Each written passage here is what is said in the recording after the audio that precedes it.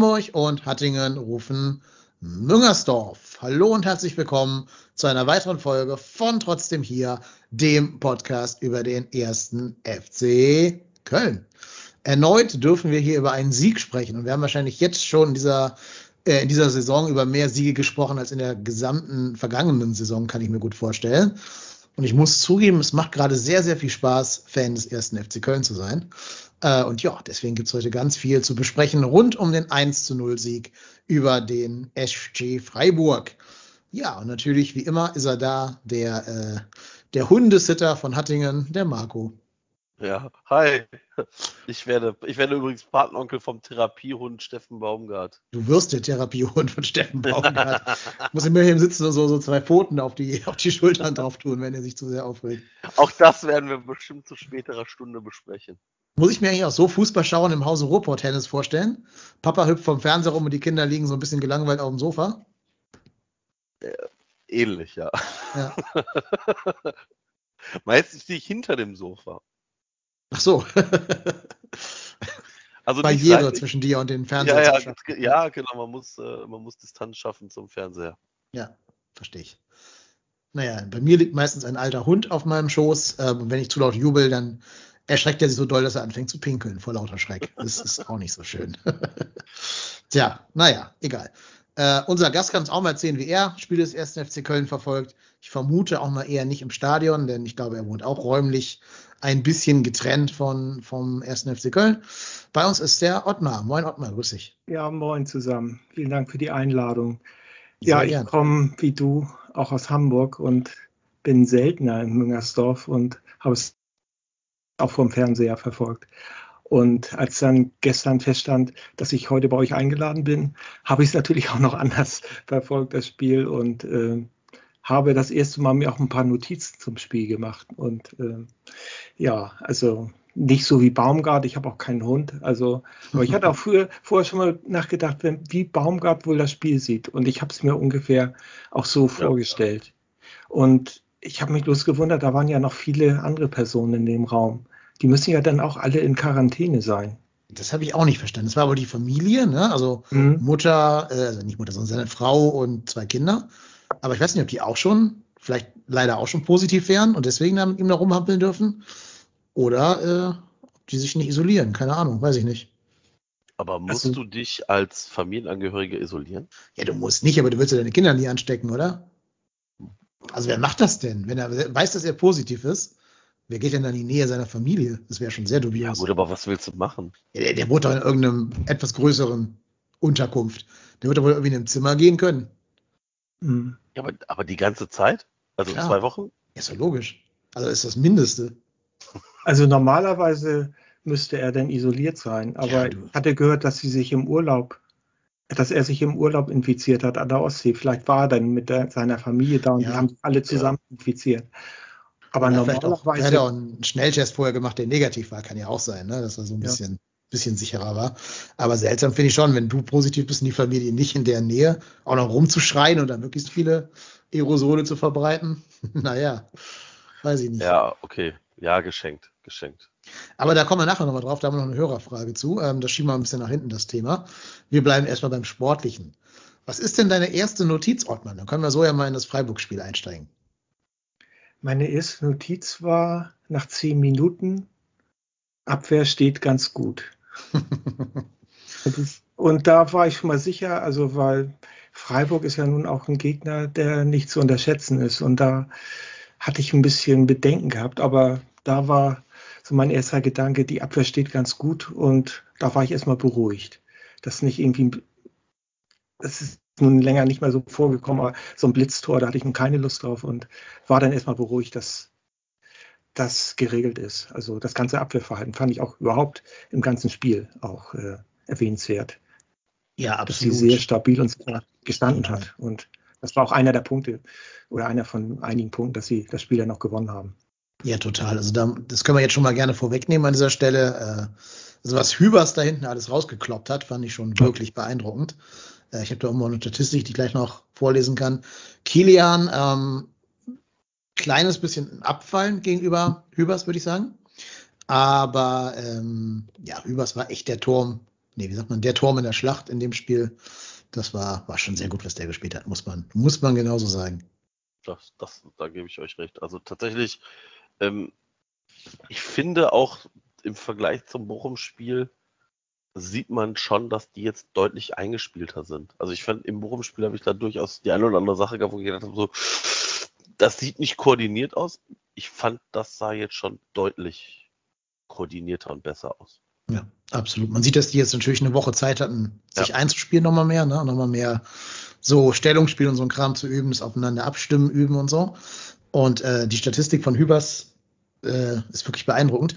Zwölf geklärte Bälle, vier geblockte Schüsse, 80% Zweikämpfe gewonnen und 80% Kopfballduelle gewonnen. Also das ist schon beeindruckend.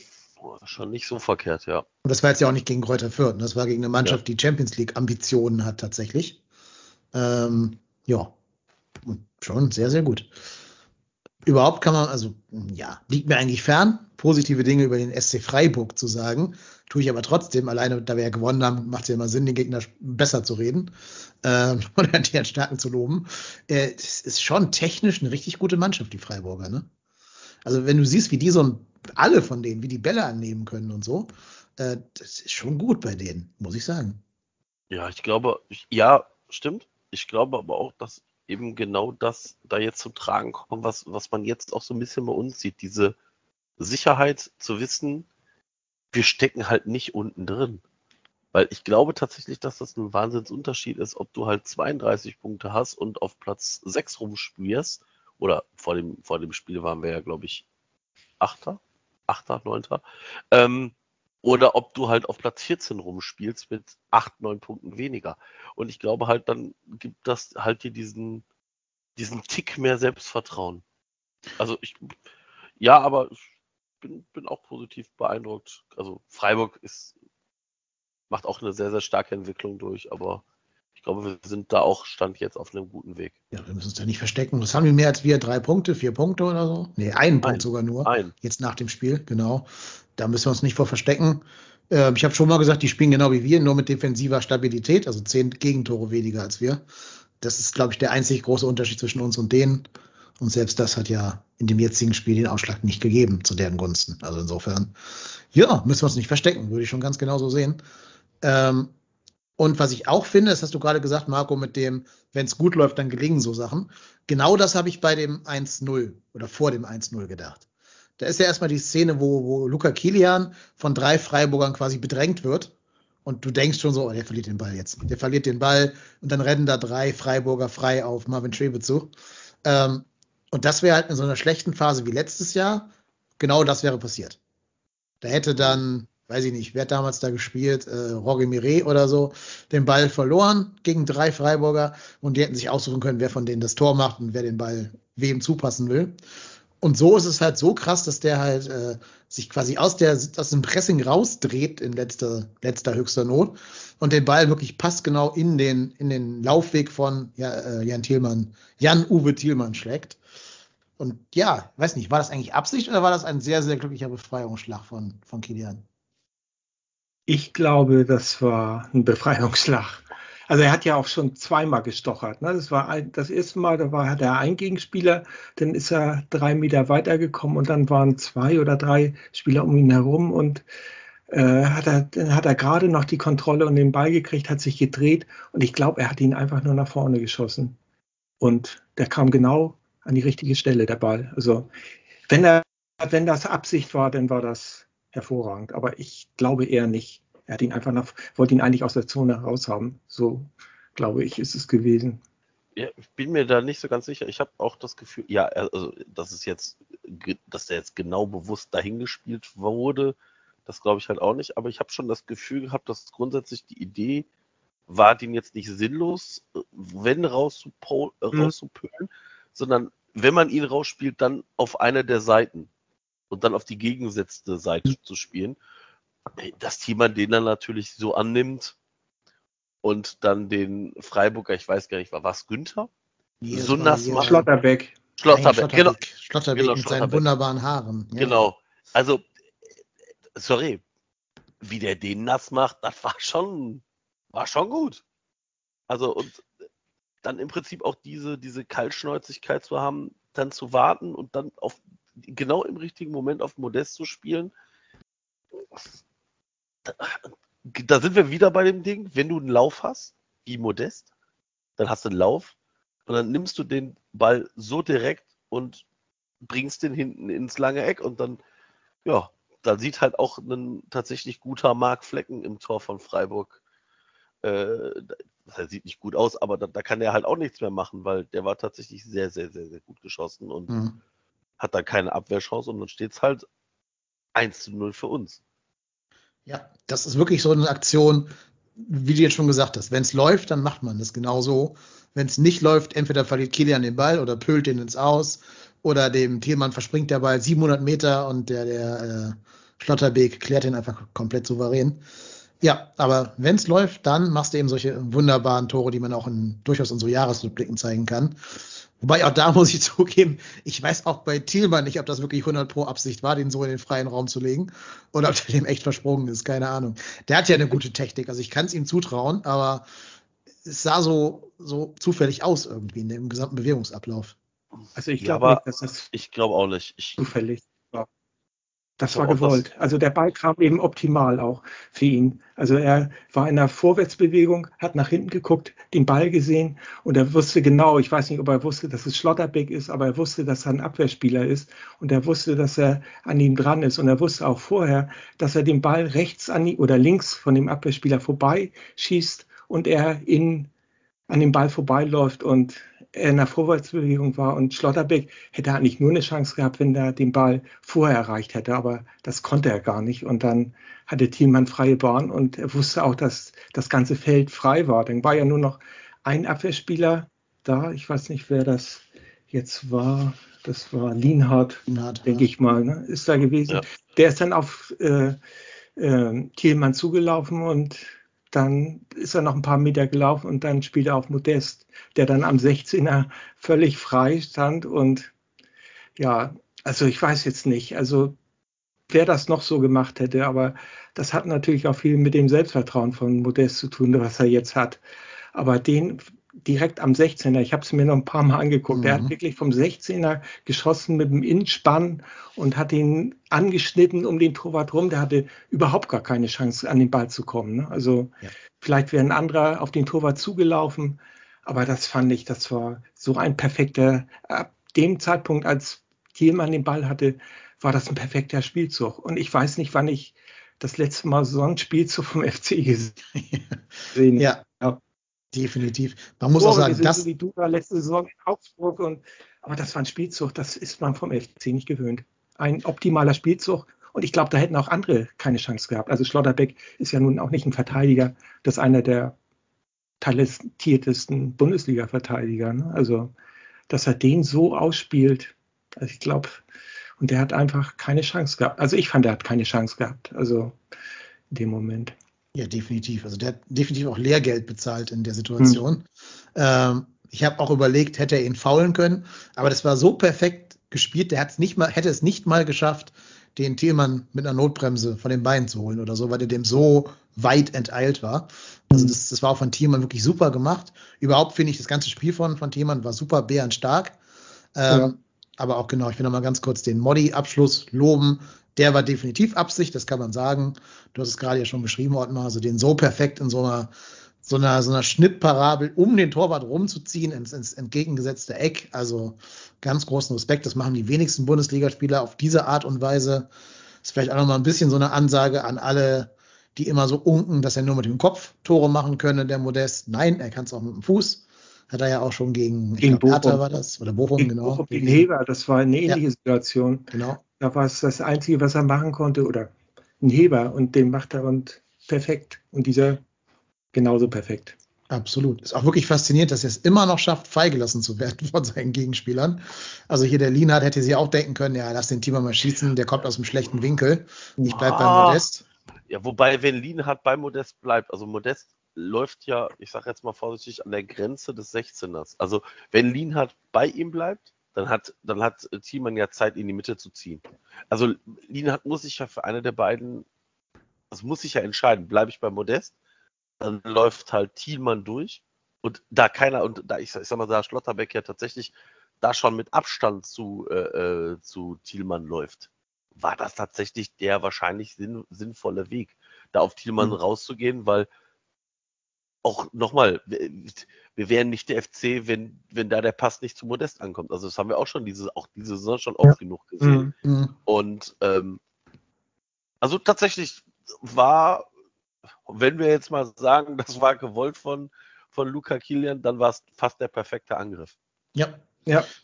Auf jeden Fall. Da machst du aus Gegner nicht viel. Also da kriegt ihr, glaube ich, die beste Abwehr der Welt Nö, schwerlich verteidigt. Das stimmt.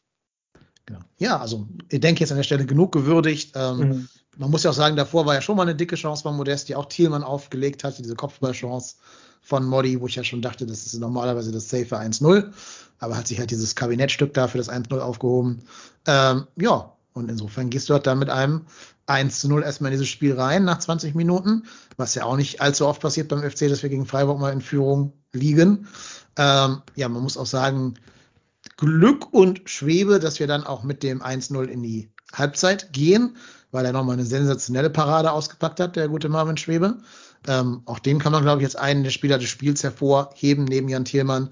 Der wurde auch in dieser FC-Umfrage zum eben Spieler des Spiels gewählt. Und ja, kann man an dieser Stelle ja mal würdigen. Das war eine wirklich fantastische Parade.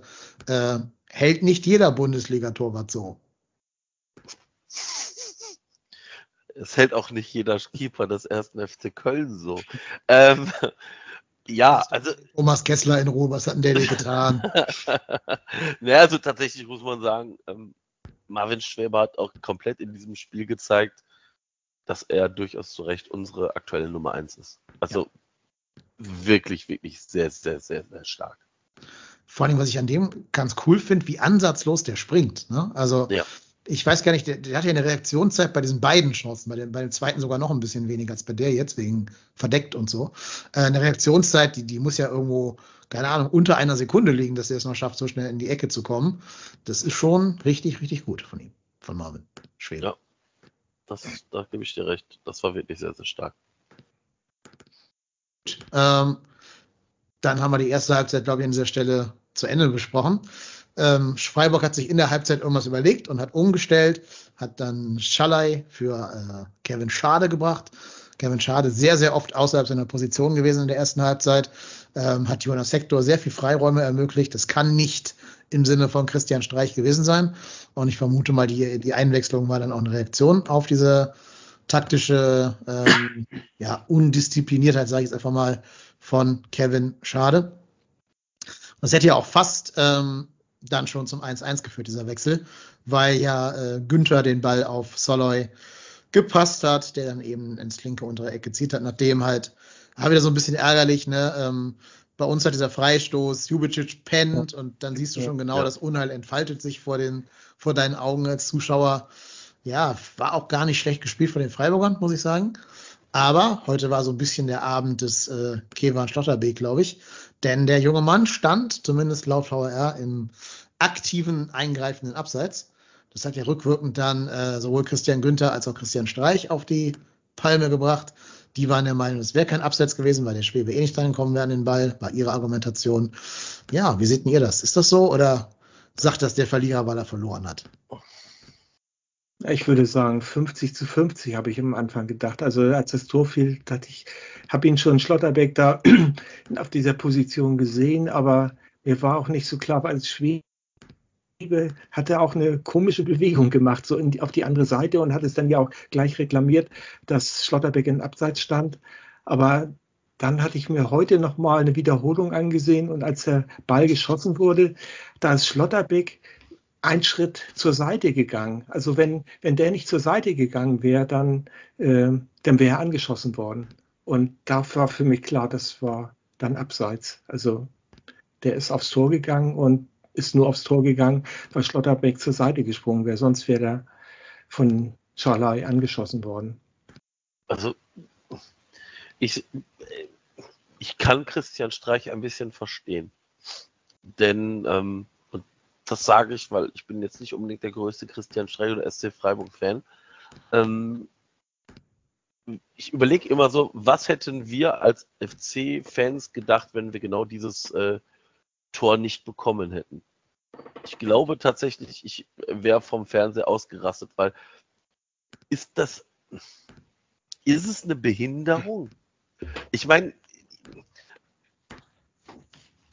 wenn er natürlich getroffen wird oder getroffen worden wäre und nicht zur Seite geht, ja gut, dann kann man sagen, ja gut, dann, dann geht Marvin Schwebe natürlich in ihren Ecke, weil er weiß, dass Schlotterbeck sonst angeschossen wird. Aber boah, ich, ich glaube, da haben wir ein bisschen Glück gehabt, dass die Regel so ist. Nö, sehe ich nicht so. Ich finde, das ist ganz klares aktives Abseits. Ähm, der Schwebe geht ja nur deshalb in die andere Ecke, weil er vermutet, dass der Schlotterbeck noch mit seinem Außenriss drankommt und den Ball ins, also gegen die Laufrichtung schieben will. Nur deshalb macht okay. er diese komische Bewegung in die falsche Richtung. Mhm. Sonst wäre er einfach lang gegangen. Wenn da keiner stünde, wenn er einfach frei wäre, dann wäre ja der äh, Schwebe in das lange Eck gegangen, logischerweise. Deswegen macht es ja auch keinen Sinn für ihn, irgendwie in die andere Richtung zu springen, wenn da nicht noch Kevin Schlotterbeck rumstehen würde. Und deswegen ist das natürlich ein ganz klarer, ganz klarer Eingriff in die Spieldynamik und damit halt aktiv. Ja, ja. Ich weiß nicht. Also ich kannst du recht haben, aber ich glaube halt, dass da haben wir tatsächlich Glück gehabt. Ich weiß nicht, ob man das so overrulen muss. Musst du, also der, der, hat ja nicht overruled, der hat da rausgegangen und geschaut, der Schiedsrichter. Ja, ja, oder sich, ja, ja. Ja, aber der VR hat ja zumindest eingegriffen und gesagt, guck's dir nochmal an. Ja, der hat gesagt, der ist im Abseits. Das ist ja ein Fakt, dass der im Abseits ist. Das ist ja unstrittig. Und naja. dann gesagt, hast du gesehen, dass der im Abseits war? Und dann hat Brich gesagt, nee, habe ich nicht gesehen. Und sagte, ja, geh mal raus, ob du das als, als aktives Abseits oder als passives Abseits definieren würdest. Und dann hat er sich angeschaut. Also da war jetzt kein Overruling für mich dabei. Ja, ja aber wie gesagt, ich, wie gesagt mit Christian Strei und dem SC Freiburg trifft es jetzt nicht die Falschen. Also das stimmt. Also finde ich jetzt persönlich nicht so tragisch. Äh, ja, gegen uns trifft es nie den Falschen, wenn es der Gegner ist. Also egal wer. Ja, ja, stimmt. Ja. Muss man aber auch mal sagen, wir haben dieses Jahr mehr Glück mit diesen VAR-Entscheidungen als letztes Jahr, ne? oder mehr zu unseren Gunsten. Auch das muss ich sagen, letztes Jahr wäre das Ding 100 Pro nicht, also wer, wer hätte gegolten und wäre nicht aberkannt worden. Ähm, letztes Jahr hatten wir echt ganz viel Pech in den Hacken, was den VR angeht. Mhm. Ob das jetzt ist, dass die alle Angst haben, dass Steffen Baumgart denen da die, die Hand auf die Schulter drauflegt oder was, keine Ahnung. Ja. Ähm, ja, auf jeden Fall haben wir jetzt deutlich mehr Glück. Selbst im Pokal, das war ja eine richtige Entscheidung unterm Strich, nur eine beschissene Regel, aber trotzdem eine richtige Regelauslegung. Mhm. Ja. Naja, nehmen wir mal, wie es ist. Und äh, also ich verstehe Christian Streich nicht. Das liegt aber jetzt einzig und allein daran, dass ich kein Badisch spreche. Das liegt doch an der Sprache, meinst du? Ja? Genau. Aber überhaupt. Ich muss aber mal sagen, bei dem ganzen Abgekulte um Christian Streich, mir geht der Typ total auf den Sack. Mir geht der so auf den Sack. Der hat zu allem eine Meinung. Und äh, dann immer mit seinem, oh ja, da mischen sie auch mal hier die andere Frage und äh, ja, in Brasilien brennt der Regenwald. Also, nee, oh, nee. Der soll einen Podcast machen und da seine Meinung zum Besten geben, aber dieses unkritische Abgekulte, das stört mich total.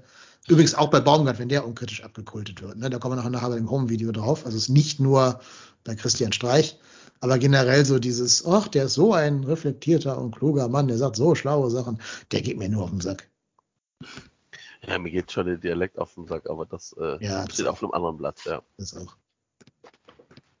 Naja, ähm, wir bleiben mal weiter in der Chronologie des Spiels, würde ich vorschlagen. Also 1-1 zählt nicht, es bleibt bei 1 0 für den FC. Direkt danach verdient sich der FC quasi nochmal ein paar Chancen zum 2-0. Äh, leider kann er sie nicht nutzen. Besonders prägnant hat diesen einen Schuss von Florian Kainz, den ja. eben der schon mehrfach erwähnte Schlotterbeck von der Linie kratzt. Da war der Torwart schon geschlagen. Der hat auch genau ins lange Eck gepasst, glaube ich. Aber es ist halt schade, in Situationen wie denen muss man halt irgendwann auch mal als nächsten Entwicklungsschritt jetzt, also für die Zukunft gesehen, mal den Sack zumachen, 2-0, dann ist das Spiel, glaube ich, relativ schnell tot. Das fehlt noch so ein bisschen, dass wir das schaffen, solche Druckphasen dann auch mal in Tore umzumünzen. Ähm, aber trotz allem ist es ja gut, dass wir es überhaupt schaffen, jetzt solche Druckphasen rauszuspielen. Das war letztes Jahr ja auch ganz anders.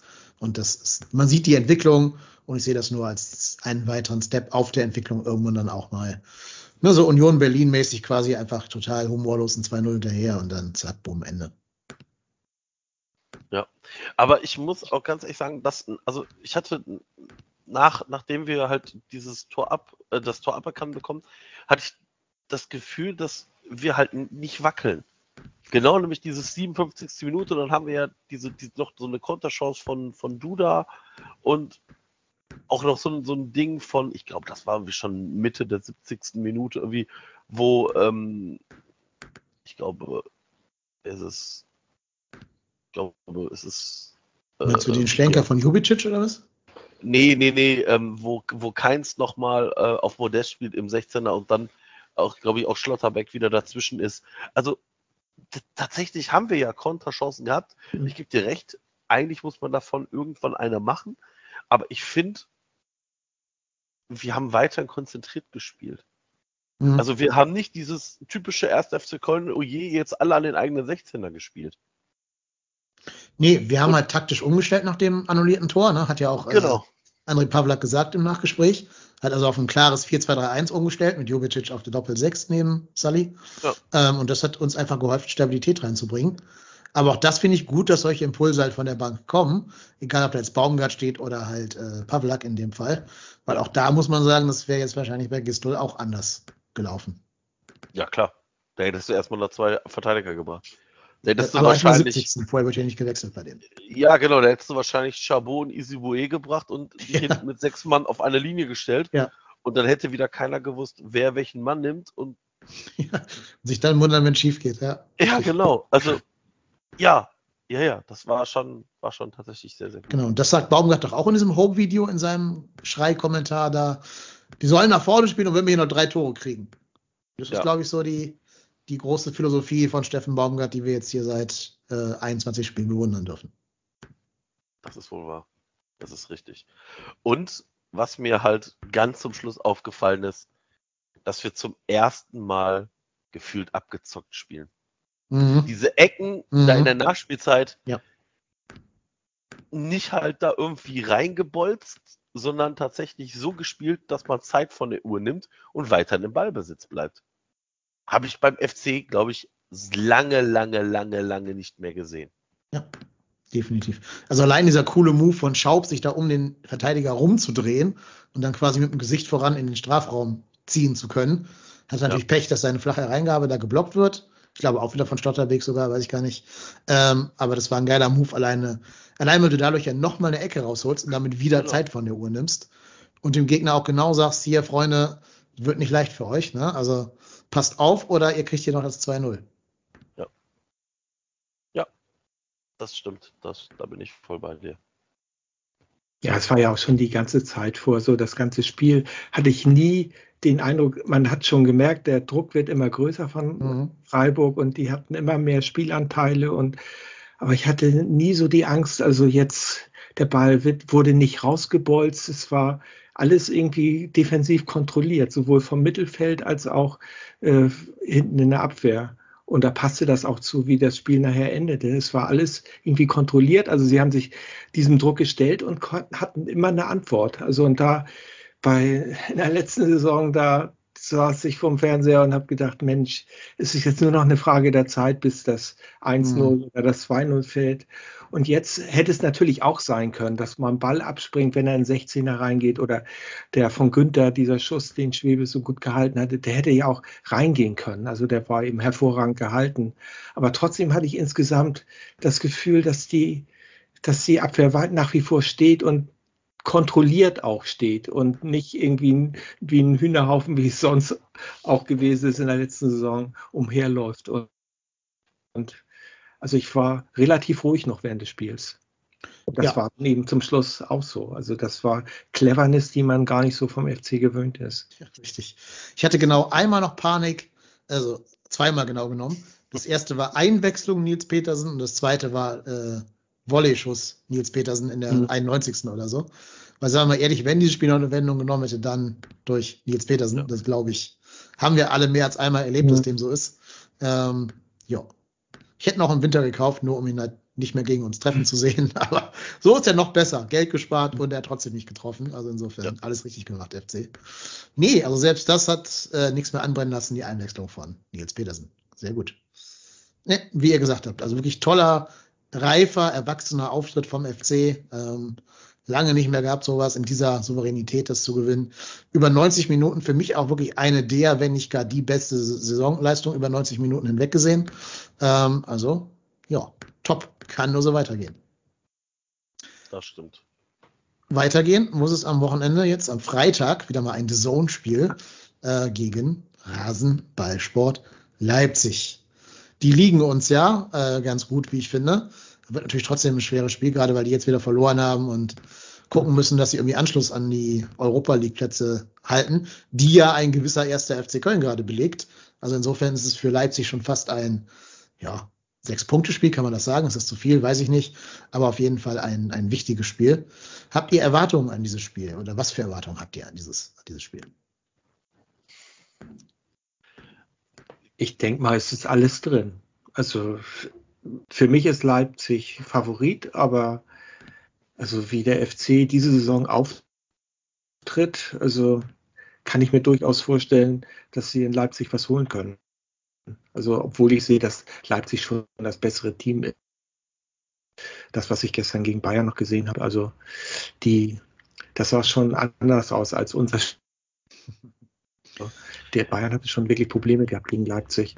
Aber trotzdem, also so wie die Mannschaft auftritt, also das ist eben seitdem Baumgart da ist, also keine Ängstlichkeit und äh, die spielen, versuchen ihr Spiel zu spielen und äh, das hat man ja bis jetzt auch gesehen, diese Saison. Also da ist in jedem Spiel, bis auf vielleicht in Hoffenheim, immer alles drin.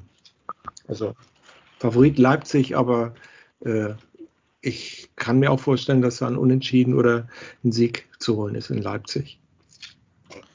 Also tatsächlich, ja, ich stimme, der, ich muss dem immer voll zustimmen. Ich musste gerade schmunzeln, weil tatsächlich hätte mir das einer vor der Saison gesagt, dass wir hier nach ein, in der, vor dem 22. Spieltag sitzen, uns darüber unterhalten, dass der FC auf Rang 6 steht, gegen Leipzig spielt und es im Leipzig, äh, Leipzig äh, ein Spiel ist gegen einen direkten Konkurrenten um die Europa League und Leipzig hinter uns steht. Hätte ich gesagt, ja klar. Mhm. Aber selbstverständlich, aber selbstverständlich. Äh, und Modest macht doch. 13 Tore, ja, ja, klar, genau, klar. 14, genau, Modest macht 14 Tore, ja, aber selbstverständlich, na klar doch. Und also, ich glaube halt, dass der große Vorteil ist, dass wir jetzt halt, ich sage jetzt mal vorsichtig, ohne diesen ganz großen Druck spielen können. Wir haben jetzt 32 Punkte. Ich glaube, realistisch brauchen wir irgendwas zwischen 35 und 38 Punkte, um in der Liga zu bleiben. Das heißt, wir brauchen im Idealfall noch zwei Siege. Wir spielen ja. noch gegen alle Teams da unten. Gräuter Fürth. Stuttgart, Augsburg, Bielefeld, gut, Hertha haben wir schon weg, Gladbach, äh, Wolfsburg, Bochum haben wir weg, Mainz, aber mhm. nochmal, die nehmen sich auch alle untereinander Punkte weg. Ja, also zur Not reichen sogar fünf Unentschieden wahrscheinlich wahrscheinlich auch das. Und wir haben ja gesehen, ich habe das in, in, der letzten Podcast-Folge nach dem Spiel gegen den VfL gesagt, wir, uns reichen, ich glaube, da habe ich gesagt, drei Siege. Und dann habe ich, glaube ich, aufgeführt Stuttgart, Bielefeld, Fürth. Und jetzt haben wir mit diesem, ich sag mal vorsichtig, nicht eingerechneten Sieg gegen, gegen Freiburg natürlich schon mal uns ein bisschen Druck genommen. Und dadurch, dass Bielefeld und Augsburg jetzt so langsam anfangen zu punkten, ist das auch extrem wichtig, damit wir A, weiter so ein bisschen den, den kleinen Traum Euroleague träumen dürfen noch, aber weiterhin den Abstand nach unten halten. Und das ist eigentlich viel, viel, viel, viel wichtiger. Ich möchte nicht okay. irgendwann mit einer Niederlagenserie von fünf Spielen irgendwie da unten landen und dann sagst du, oh Mensch, aber wir waren doch am 21. Spieltag, haben wir doch um die Europa League gespielt, weil das interessiert dann auch keinen mehr ja, immer Bremen als mahnendes Beispiel im Kopf halten genau. letzte Saison. Ne? Habe ich schon ja. mal gesagt, hier wiederhole ich gerne nochmal. Die hatten eine ähnlich komfortable Situation wie wir zum 23. Spieltag hin, glaube ich. Ich schaue gleich mal nach, wie es genau war. Ähm, aber die haben es halt so ein bisschen einschlafen lassen und gedacht, ja, läuft, ist ein Selbstläufer. Vielleicht geht nach oben noch irgendwas und sind dann sang- und klanglos übrigens gegen uns abgestiegen. Ähm, ja. Weil wir sie noch überholt haben am letzten Spieltag mit einem Zitter 1-0 gegen Schalke. Ähm, ja, also kann schnell gehen. Aber ich glaube aber, einfach, dass das Baumgart das auch nicht zulassen wird, dass da einer von Nee, das wollte ich gerade sagen. Kannst du dir vorstellen, dass unter Baumgart der FC einschlägt. Also ich kann es mir nicht vorstellen. Nee, ich, ich hoffe ich es nicht. Also ich glaube ich glaube es auch nicht und ich hoffe es auch nicht. Also tatsächlich spielen wir dafür auch tatsächlich zu stabil. Und ähm, genau das, also tatsächlich muss man ja auch noch sagen, also wir haben ja jetzt, obwohl er zurück war, ohne Skiri gespielt. Das, ne, also unser Kader wird ja tendenziell zu den nächsten Wochen eher noch stärker.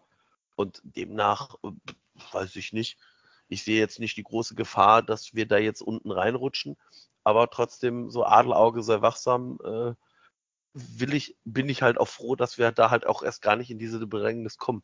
Ich glaube nicht, ich glaube ehrlicherweise auch nicht, dass es passieren wird.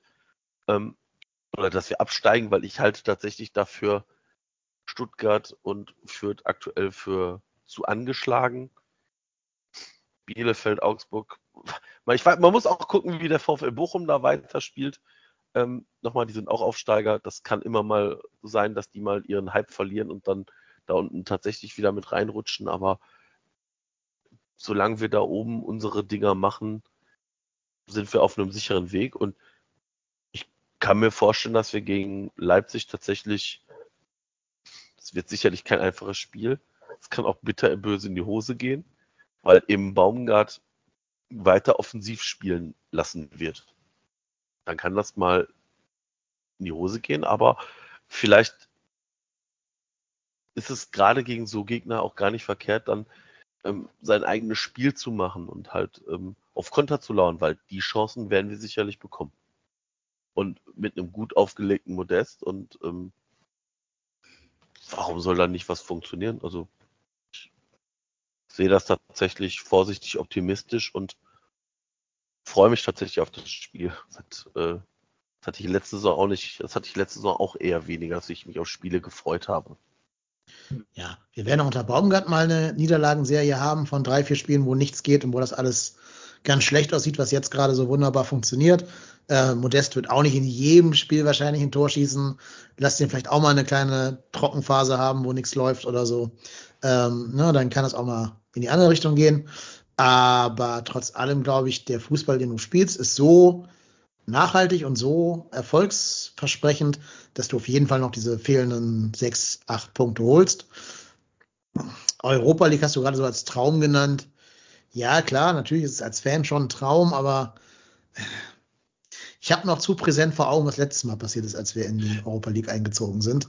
Mir wäre es gar nicht so ganz unrecht, wenn wir irgendwie am Ende der Saison Achter würden oder vielleicht sogar Neunter, lieber noch ein bisschen besser, weil es ja nicht ganz so bitter war.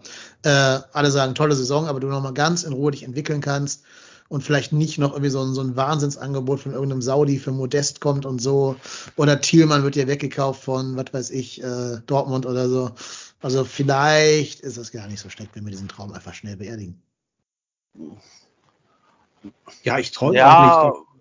Aber, aber warum? Also nochmal, also wichtig, klar, wichtig ist, ich sag mal, so schnell wie möglich 38, 40 Punkte voll machen. Und wenn du dann halt noch genug Spiele hast, dann hast du doch keinen Druck mehr. Da, kann doch, da können doch die Jungs einfach mal befreit aufspielen. Ich, also ich, ich bin bei dir. Ich glaube auch nicht, dass wir Sechster werden. Ich glaube auch nicht, dass wir Siebter werden. Am Ende gebe ich dir recht, werden wir Achter oder Neunter weil eben Leipzig und Hoffenheim um uns überholen werden. vielleicht auch Frankfurt. Dann sind wir Neunter. Ja, aber wenn wir Neunter werden, dann ist das eine wirklich richtig, richtig gute Bundesliga-Saison von uns gewesen. Und aber warum soll nicht mit irgendwie zwei, drei, vier Siegen, mit denen wir jetzt nicht rechnen, da noch mehr drin sein? Also ich würde es jetzt erstmal per se nicht abschreiben, völlig. Also wir sind wir sind mit in der Verlosung der Teams, die da drum mitspielen. Und die, die fängt bei mir so bei Mainz an. Mainz, Frankfurt, Hoffenheim, Leipzig, wir, Freiburg und Union Berlin. Ich rechne uns per se von all den Teams auch die wenigsten Chancen ein. Einfach was den, die Qualität im Kader anbelangt. Ähm, und vielleicht auch so ein bisschen diese Kaltschnäuzigkeit hinten raus. Aber warum sollen wir nicht wieder der lachende Dritte sein? meine These ist, wir werden in diesem Jahr Siebter, in dem einen Jahr, wo Platz 7 Wo nicht Platz reicht. sieben nicht für reicht, Europa. das glaube ich auch, Genau. Weil äh, Hannover den DFB-Pokal gewinnt gegen, Gegen Platz- Leipzig. Oder gegen, Nee, gegen Leipzig. Ja. Ja, ja. Ja, ja, ja, irgend sowas, genau. Ja, das ist meine, meine, The- meine Arbeitsthese. Das wäre der Peak erster FC Köln. Aber gut, so ein bisschen haben wir diesen Trottelvereins-Image gerade auch überwunden, dank, dank Baumgart und den anderen handelnden Personen. Insofern sind wir mal entspannt und schauen, was am Ende übrig bleibt. Ja. Jetzt habe ich gerade gesagt, ähm, wenn dann so ein Wahnsinnsangebot für Modest von irgendeinem Saudi hereinfliegt, damit spielte ich natürlich auf die abgelaufene Transferperiode an, denn dort kam ja ein solches Angebot und was man hört, muss dieses Angebot sehr unmoralisch gewesen sein. Da würde mich doch mal eure Einschätzung zu interessieren. Muss der erste FC Köln, angenommen Modest sagt, er würde das machen wollen, der wollte ja nicht, ne? aber angenommen, er sagt, ja doch, kann ich mir vorstellen, nochmal zwei Jahre nach Saudi-Arabien zu gehen oder drei Jahre nochmal richtig dick abzukassieren. Wenn er jetzt sagt, ich, ich würde das machen, aber ich kann mir vorstellen zu bleiben, entscheide du lieber erste FC Köln. Was muss der erste FC Köln an der Stelle dann tun? Müssen wir das Geld nehmen und uns auf Jahre hinaus sanieren? Oder muss man seinen Tor, den einzigen Stürmer, der bei uns Tore schießt, behalten? Sportlich gesehen ist- müssen sie ihn natürlich behalten. Ja. Also ich bin tatsächlich da sehr, sehr vorsichtig, weil kein, also es wird immer gesagt, ja, das war, war hoch. Nee, aber was heißt hoch? Also wird wahrscheinlich keine 40 Millionen gewesen sein. Sagen wir einfach mal, es wird. Ich weiß jetzt nicht, wie hoch der Marktwert von Modest ist, das werde ich jetzt kurz eruieren. Ich würde mal sagen, Modest Marktwert liegt wahrscheinlich irgendwo bei zweieinhalb Millionen, oder? Ja, okay, ich weiß ich nicht, kannst du nachgucken, aber das Angebot wird schon Millionen Euro. zweistellig gewesen sein. Dann lass es, pass auf, dann lass es 10 Millionen Euro sein. Wir sagen einfach mal, das Angebot Transfersumme 10 Millionen Euro. Du musst ja auch erstmal dann einen Stürmer verpflichten in der Winterpause, der dir halt in der Rückrunde 14 Tore schießt. Ja. weil- also, Na, ganz also kurz, ich, ich Der- weiß nicht. der genaue Wortlaut war exorbitantes Angebot von Jörg Jakobs. Exorbitant, Ja, aber- hat er gesagt. Ja, aber ne, also wenn, Klingt wenn für mich nach mehr als 10 Millionen, ehrlich gesagt. also ich bin ehrlicherweise froh, dass Modest geblieben ist. Weil du weißt nie mit, also ein Transfer kann immer floppen, egal wie viel Geld du für diesen Spieler ausgibst. Egal wie gut der vorher war, wenn wir jetzt, ich sag jetzt mal, einen Max Kruse verpflichtet hätten, der ja für vermeintliche 5 Millionen von Union nach Wolfsburg gegangen ist. Dann kann das funktionieren. Das kann aber auch scheitern. Mhm. Und diese, diese 10 Millionen oder ist also, selbst wenn wir von 20 Millionen Euro sprechen, Transfersumme, die bringen dir gar nichts, wenn du am Ende mit dem, mit dem, ich sag mal, Ersatzstürmer absteigst. Also Abstieg dann- ist immer teurer als Ja, das, also was was, reinkriegt. was, wenn du so eine Abstiegssaison nimmst, da verbrennst du bestimmt mehr als 20 Millionen Euro im Vergleich, also in, in Summe. Fehlende TV-Einnahmen, äh, dann verlierst du ja auch auf, den, auf die nächsten Jahre Geld in dieser TV-Ranking-Liste, weil du in der zweiten Liga gespielt hast. Ähm, du hast weniger Transfereinnahmen, äh, weniger ähm, Einnahmen ähm, über, über die Sponsoren, weil da ja auch in den Sponsorenverträgen in der Regel äh, die zweite Liga weniger einbringt.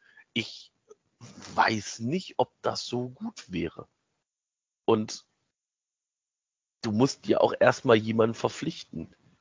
Und wie gesagt, ich glaube auch genau deswegen hat der FC gesagt, hör mal, hörst dir, hörst dir an. Also man hat sich ja wohl zusammengesetzt und dann hat FC vermeintlich gesagt, also man kann, muss ja jetzt erstmal den handelnden Personen trauen, dass das tatsächlich so gelaufen ist, dass dann äh, Kessler und die Verantwortlichen vom FC gesagt haben, hör mal, was möchtest du? Wir möchten, wir würden uns freuen, wenn du bleibst. Und ich muss auch ganz ehrlich sagen, ich hätte mich massiv gewundert, wenn Modest gegangen wäre, Mhm. weil ich glaube auch, dass er nach diesem China, ähm, Ja.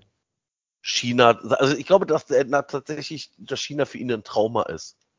Der ist gegangen hier mit, mit seiner, mit, nach seiner besten Saison seines Lebens wahrscheinlich. Der wurde hier von den Fans nach dem Main-Spiel auf Händen durchs Stadion getragen. der träumte davon, mit dem FC international zu spielen, laut eigener Aussage. Da gehst du nach China und bist von der Familie weg, kommst nicht irgendwie klar, dann bleib, bleiben möglicherweise irgendwelche Zahlungen aus und dann kommst du halt wieder zurück, du kommst nicht in Tritt. Und ich glaube, dass der sich gesagt hat, so, yo, pass auf, ich weiß gar nicht, ob mir das so viel Spaß macht. Weil tatsächlich, Modest ist ein Spaßfußballer. Der muss Spaß haben, der muss gute Laune haben und dann kann der erfolgreich sein. Ich weiß nicht, ob so Saudi-Arabien und Emirate, ob das jetzt was für ihn gewesen wäre. Hm, nee, glaube ich auch nicht. Der hätte da wieder China 2.0 ähm, genau. haben können. Klar. Ich sag mal so, hätten wir in der Hinrunde schon 36, 37 Punkte geholt, musst du ihn verkaufen. Also immer vorausgesetzt, der will, ne? immer seinen, seinen Willen vorausgesetzt. Dann bist du, glaube ich, als Vereinsverantwortlicher dem gesamten Verein und auch der wirtschaftlichen Stabilität in Corona-Zeiten verpflichtet und musst für einen 34-jährigen Stürmer dieses Wunderangebot, was da anscheinend vorlag, annehmen, wenn du sicher bist, also rechnerisch quasi sicher bist, dass du nicht absteigst. Weil ich bin ganz bei dir, wenn du absteigst, äh, hat dich das der beste Transfer der Welt zu viel gekostet, weil du du verlierst ja nicht nur Geld durch diese ganzen fehlenden TV-Einnahmen und bla bla bla, sondern du verlierst ja auch dein Tafelsilber. Also dann sagt Jan Thielmann halt, nee, ich bleibe hier aber nicht in der zweiten Liga, ja. liebe Freunde, ich gehe jetzt zu Dortmund oder zu Leverkusen oder so. Äh, und dann sagen auch hier wahrscheinlich, äh, kannst du die, die, die Kaufoption für den Kilian nicht ziehen, für den Chabot wahrscheinlich auch nicht, äh, weil du abgestiegen bist. Dann verlassen dich vielleicht noch irgendwie Duda und ähm, Skiri geht ja auch wahrscheinlich weg. Ob Jubicic ja. sich zweite Liga antut, weiß ich auch nicht. Oder, oder Sully dürfte auch jetzt einen Markt haben, neuerdings ne, dann, dann musst du quasi den ganzen Bums wieder neu aufbauen zum dritten Mal in, in sieben Jahren oder so. Das kannst du dir halt nicht immer erlauben. Irgendwann wirst du halt dann wirklich ein Zweitligist und dümpelst dann vor dich hin, so wie, wie der HSV oder wie ähm, noch schlimmer 1860 oder Kaiserslautern oder so. Also das um jeden Preis vermeiden. Wenn du schon safe wärst, dann hättest du ihn verkaufen müssen. Denn dann darfst du nicht von Europa träumen, dann musst du deinen Verein wirtschaftlich konsolidieren. Aber da das ja nicht der Fall war, ist es ja jetzt ja totaler totale Spekulation und findet ja alles hier nicht im Konjunktiv statt. Aber ja, vielleicht stellt sich die Frage ja im Sommer nochmal, ne, du dann halt die Zeit hättest, dir einen neuen Stürmer zu holen, der dann vielleicht nicht die damalige Wundertüte John Cordova ist. Ähm, ja, müsste man überlegen, ob man das dann im Sommer beim gleichlockenden Angebot, wenn Modest dann 28 Tore geschossen hat am Ende der Saison, ähm, ob man es dann nochmal annehmen möchte. Ja, wird man, wird man sicherlich gucken müssen, aber ich glaube, tatsächlich zum jetzigen Zeitpunkt hätte ich es für ein zu großes Risiko gehalten. Ja, ja, definitiv, bin ich bei dir. Vor allem, du kriegst im Winter ja auch dann, also im Winter, wenn, wenn du im Winter einen Stürmer, einen Nummer 1 Stürmer suchst und die Vereine wissen, dass du Geld hast. Das ist genau das Ding, mhm. was wir damals hatten, als, ja, als Cordoba gekommen ist. Die wussten, alles klar, der FC hat Knete. Jetzt sagen wir nicht, also die, jeder Verein weiß, dass du halt in der in der Not bist, diesen Spieler idealerweise schnell zu verpflichten. Ja. Weil die Winterpause war ja, also war ja dann auch eine relativ kurze, du musst dann schnell handeln äh, und dann weiß jeder, du hast Knete und dann kostet der Spieler auch wahrscheinlich direkt mal 10% mehr. Und wenn du dann nur Geld wechselst, und wahrscheinlich hättest du dann auch keinen 19-Jährigen geholt, sondern tatsächlich einen etablierten Spieler. Du hättest Nils Petersen geholt. Der wollte nämlich ja. weg im Winter. Genau, dann hast du, ja, aber dann, 33. Dann, wechsel, genau, dann wechselst du 33 zu ja. 33-Jährigen ja, oder 33 zu 32-Jährigen. Ja. Da, da, hast du ja jetzt keine Wertsteigerung Nö. geschaffen. Das wäre dann so ein reines Lückenstopfen. Ne? Also genau. du verkaufst Modi für 10, kaufst Petersen für 2 und hast 8 auf der hohen Kante. So. Naja gut, aber du hättest Petersen nicht für 2 gekriegt, ja, du hättest wahrscheinlich 6 gezahlt. Ja, aber. Also auch da gibt es ja ein bisschen Markt, auch wenn du viel Kohle hast, klar. Aber der hat einen Marktwert von 1,8 Millionen, kriegst vielleicht für 3, 6. Also für 4 ja. Millionen kannst du 6 auf die hohe Kante legen. Ja, aber wenn Plus der Petersen dann bei, beim FC nicht einschlägt und, weiß ich nicht, ein Claudio Pizarro-Effekt hat. Ja gut, der war jetzt auch ein bisschen älter als er kam, ne? Und ja, aber ne, also das ist ja, das ist ja tatsächlich so. Wenn du dann nicht, wenn, wenn dir dieser Spieler dann nicht weiterhilft, dann kommst du halt in die Bedrängnis, dass du vielleicht wieder da unten reinrutscht mhm. und ich weiß nicht, ob dafür der restliche Kader zu gefestigt ist. Das glaube ich halt auch nicht. Hm. Ja, ich, ich hätte da halt dann tatsächlich Baumgart vertraut, ne? dass der dann wirklich zu, aus einem, weiß ich nicht, Jan Thielmann oder so nochmal einen, einen Fünf-Tore-Stürmer macht, dass der es irgendwie schafft, noch den Duda und den, den Modell, den Marc Uth ein bisschen torgefährlich hinzukriegen. Das wäre meine Hoffnung gewesen. Also mit Gistol würde ich auch sagen, wenn du Modest verkaufst im Winter, steigst du auf jeden Fall noch ab, egal wie viele Punkte du hast.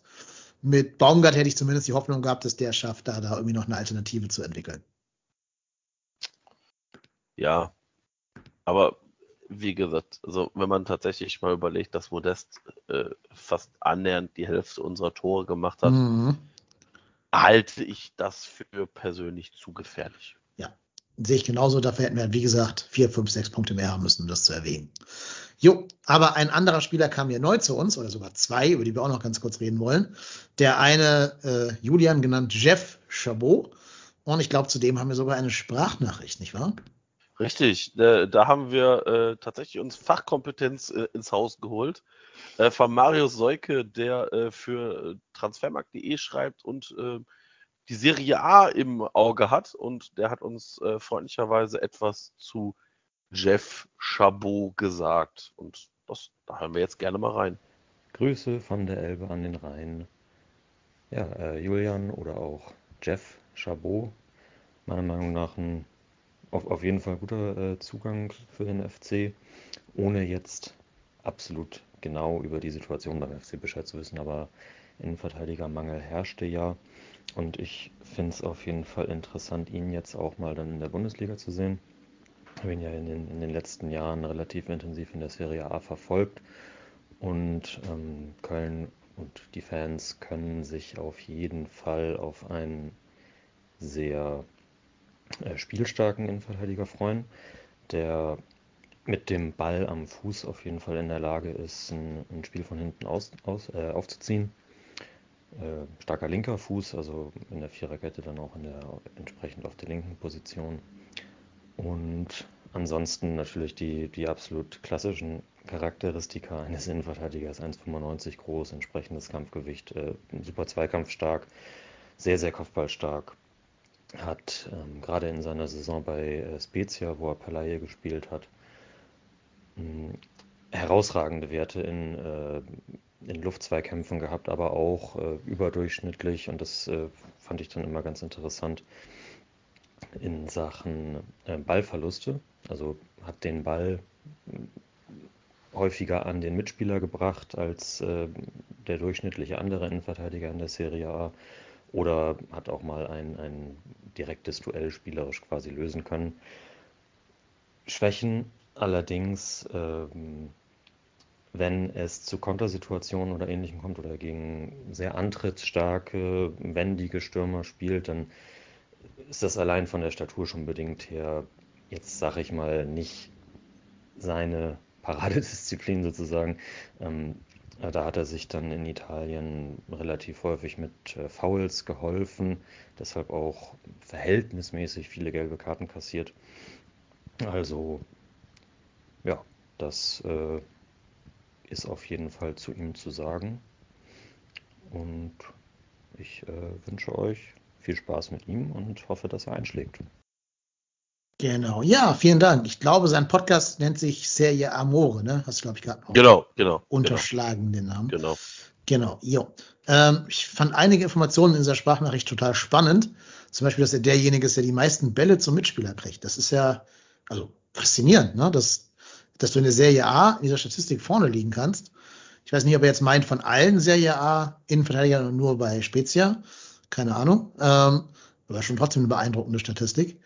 Ich muss sagen, ich habe ihn auch in diesem Testspiel gegen Bochum, äh Quatsch, gegen Schalke spielen sehen. Das war ja auf YouTube live zu sehen, dieses Testspiel. Äh, da habe ich ihn zumindest so über 40 Minuten beobachten können. Hat mir schon gut gefallen, der Jeff, muss ich sagen. Also hat sofort, gut, Schalke war jetzt auch nicht mit der allerletzten, äh, mit dem allerletzten Zug zum Tor unterwegs, darfst du ja auch nicht vergessen. Das war jetzt also nicht, dass wir da irgendwie gegen Real Madrid gespielt hätten, sondern es war halt nur Schalke. Aber trotz allem hat er das sehr souverän gemacht, hat da sehr äh, abgeklärt gespielt natürlich sofort die Lufthoheit für sich beansprucht mit seinen 1,95. Und der hat echt diese Psychos-Gedenkpässe gespielt, die auch immer ganz gut angekommen sind. Also so dieser erste Auftritt hat mir schon ganz gut gefallen und Spaß für mehr gemacht tatsächlich. Ich habe das Spiel äh, leider nicht gesehen gegen Schalke.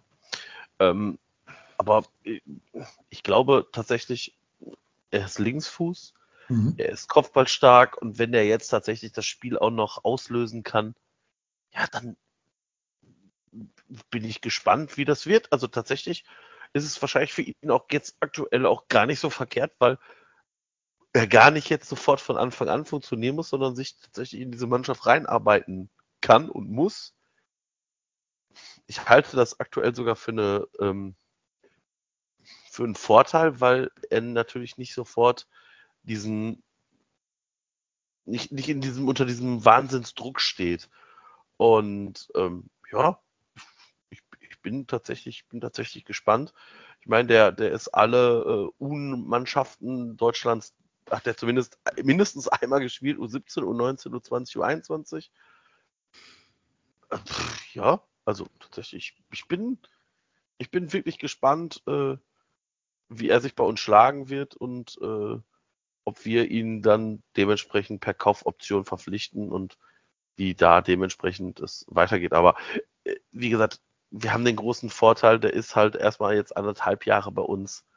Ähm, da haben wir natürlich noch ein bisschen Zeit, ihn zu beobachten und ja, dann werden wir mal sehen, wo, wo die Reise mit Julian Jeff Chabot hingeht. Und wir sind natürlich. Ich bin, zumindest, mhm. ich bin zumindest sehr froh, dass wir, dass wir auch einen großgewachsenen, kantigen Spieler verpflichtet haben, der, also der wichtiger Vorteil ist auch, der kann Deutsch. Also der ist Deutscher, mhm. der, der, hat jetzt keine, der wird sich wahrscheinlich in dieser Mannschaft verhältnismäßig schnell einleben können. Und das, ich glaube, das ist halt genau so ein Spieler, der halt dich direkt verstärkt. Und das ist, glaube ich, halt ganz wichtig für uns. Ja, das wird man sehen, ne? ob er direkt eine Verstärkung ist. Aber auf jeden Fall brauchten wir in der Abwehr einen Linksfuß, nachdem Zichos gegangen ist. Und ich hätte es vorher auch schon gut gefunden, wenn wir auf dieser Position noch einen weiteren Linksfuß hatten, weil das war für mich auch einer der Gründe, dass Zichos immer gespielt hat, weil er einfach gar keine Konkurrenz hatte. Es war ja. der einzige, der äh, Linksfuß in der Abwehr war und äh, ja, muss man sehen. Also wir haben jetzt dann auch wieder die Möglichkeit, auch mal perspektivisch auf Dreierkette umzustellen und dann haben wir ja noch einen Linksfuß und also ich, ich würde ihn gerne mal sehen. Und dass er jetzt, zum Glück ist es ja auch so, dass die Innenverteidigung auch sehr gut jetzt aktuell funktioniert und er in Ruhe sich an den FC gewöhnen kann und langsam aufgebaut werden kann. Also ich fand, so von den Daten, die man jetzt gehört hat, fand ich es auch sinnvoll und bin gespannt, wie er sich präsentiert im, in einem Spiel, wo es auch um was geht. Ja, definitiv. Vor allen Dingen, wenn ich es richtig am Schirm habe, hat doch Timo Hübers seine äh, vierte gelbe Karte gegen Freiburg gesehen, ne? Oder habe ich das gerade mhm. falsch abgespeichert? Weil, also, er hatte schon drei, das heißt, du wirst irgendwann damit ja. leben müssen, dass mhm. Hübers wahrscheinlich gesperrt ist. Ähm, Ne, Kilian war jetzt ja, ähm, ist auch noch jung, also kann auch mal sein, dass der in Leistungstief reinfällt, war ja lange raus, lange nicht gespielt. Das heißt, irgendwann wird schon der Chabot zu seinen Einsätzen kommen, da gehe ich fest von aus. Und dann ist natürlich gut, wenn du da einen hast, dem du so weit vertraust, dass der da direkt spielen kann. Ähm, insgesamt ist natürlich eine sehr junge Abwehr, ne? auch mit dem, mhm. Dem vierten Neuzugang Ray B, oder wie der Name sich ausspricht. Ähm, also ich habe das schon mal gesagt hier, mir wäre es so ein bisschen lieber gewesen, wenn einer von den beiden Transfers, also eher noch dieser Arai MB-Transfer, ein erfahrenerer Spieler wäre. Ähm, es gibt ja eine Gratwanderung zwischen erfahren und abgehalftert. Also du musst ja nicht so einen Horst Held Gedächtnistransfer machen. Das jetzt nicht. Ne? Also weiß ich nicht, wer ist der älteste abgehalfterte Innenverteidiger, der euch gerade einfällt? Äh, drei Bänder Schaden im Knie und sonst irgendwas. Äh, Papadopoulos, Kirgiakos Papadopoulos aus dem Ruhestand ja. zurückholen. Äh, sowas halt, das, das musst du ja auch nicht machen. Aber es hätte bestimmt irgendwo auf der Welt einen, sagen wir mal, etwas erfahreneren Mann gegeben. Da hätte mich alles insgesamt ein bisschen mehr beruhigt, wenn das so gewesen wäre. gerade weil wir jetzt auch mal ein bisschen über den zweiten Transfer, also von Ray MB reden können, weil ich gebe zu, so ganz verstehe ich diesen Transfer von Bright Array MB von den Bayern auf Leihbasis ohne Kaufoption zu uns nicht. Also ich verstehe, dass du einen jungen, entwicklungsfähigen Spieler holst, bevor der so richtig durchstartet, ja. Ich verstehe nicht, wenn du ihn ohne Kaufoption holst, ähm, ob du da nicht einfach nur bessere Ausbildungsarbeit für die Bayern leistest mhm. und wo da halt der Mehrwert für den FC drin liegt.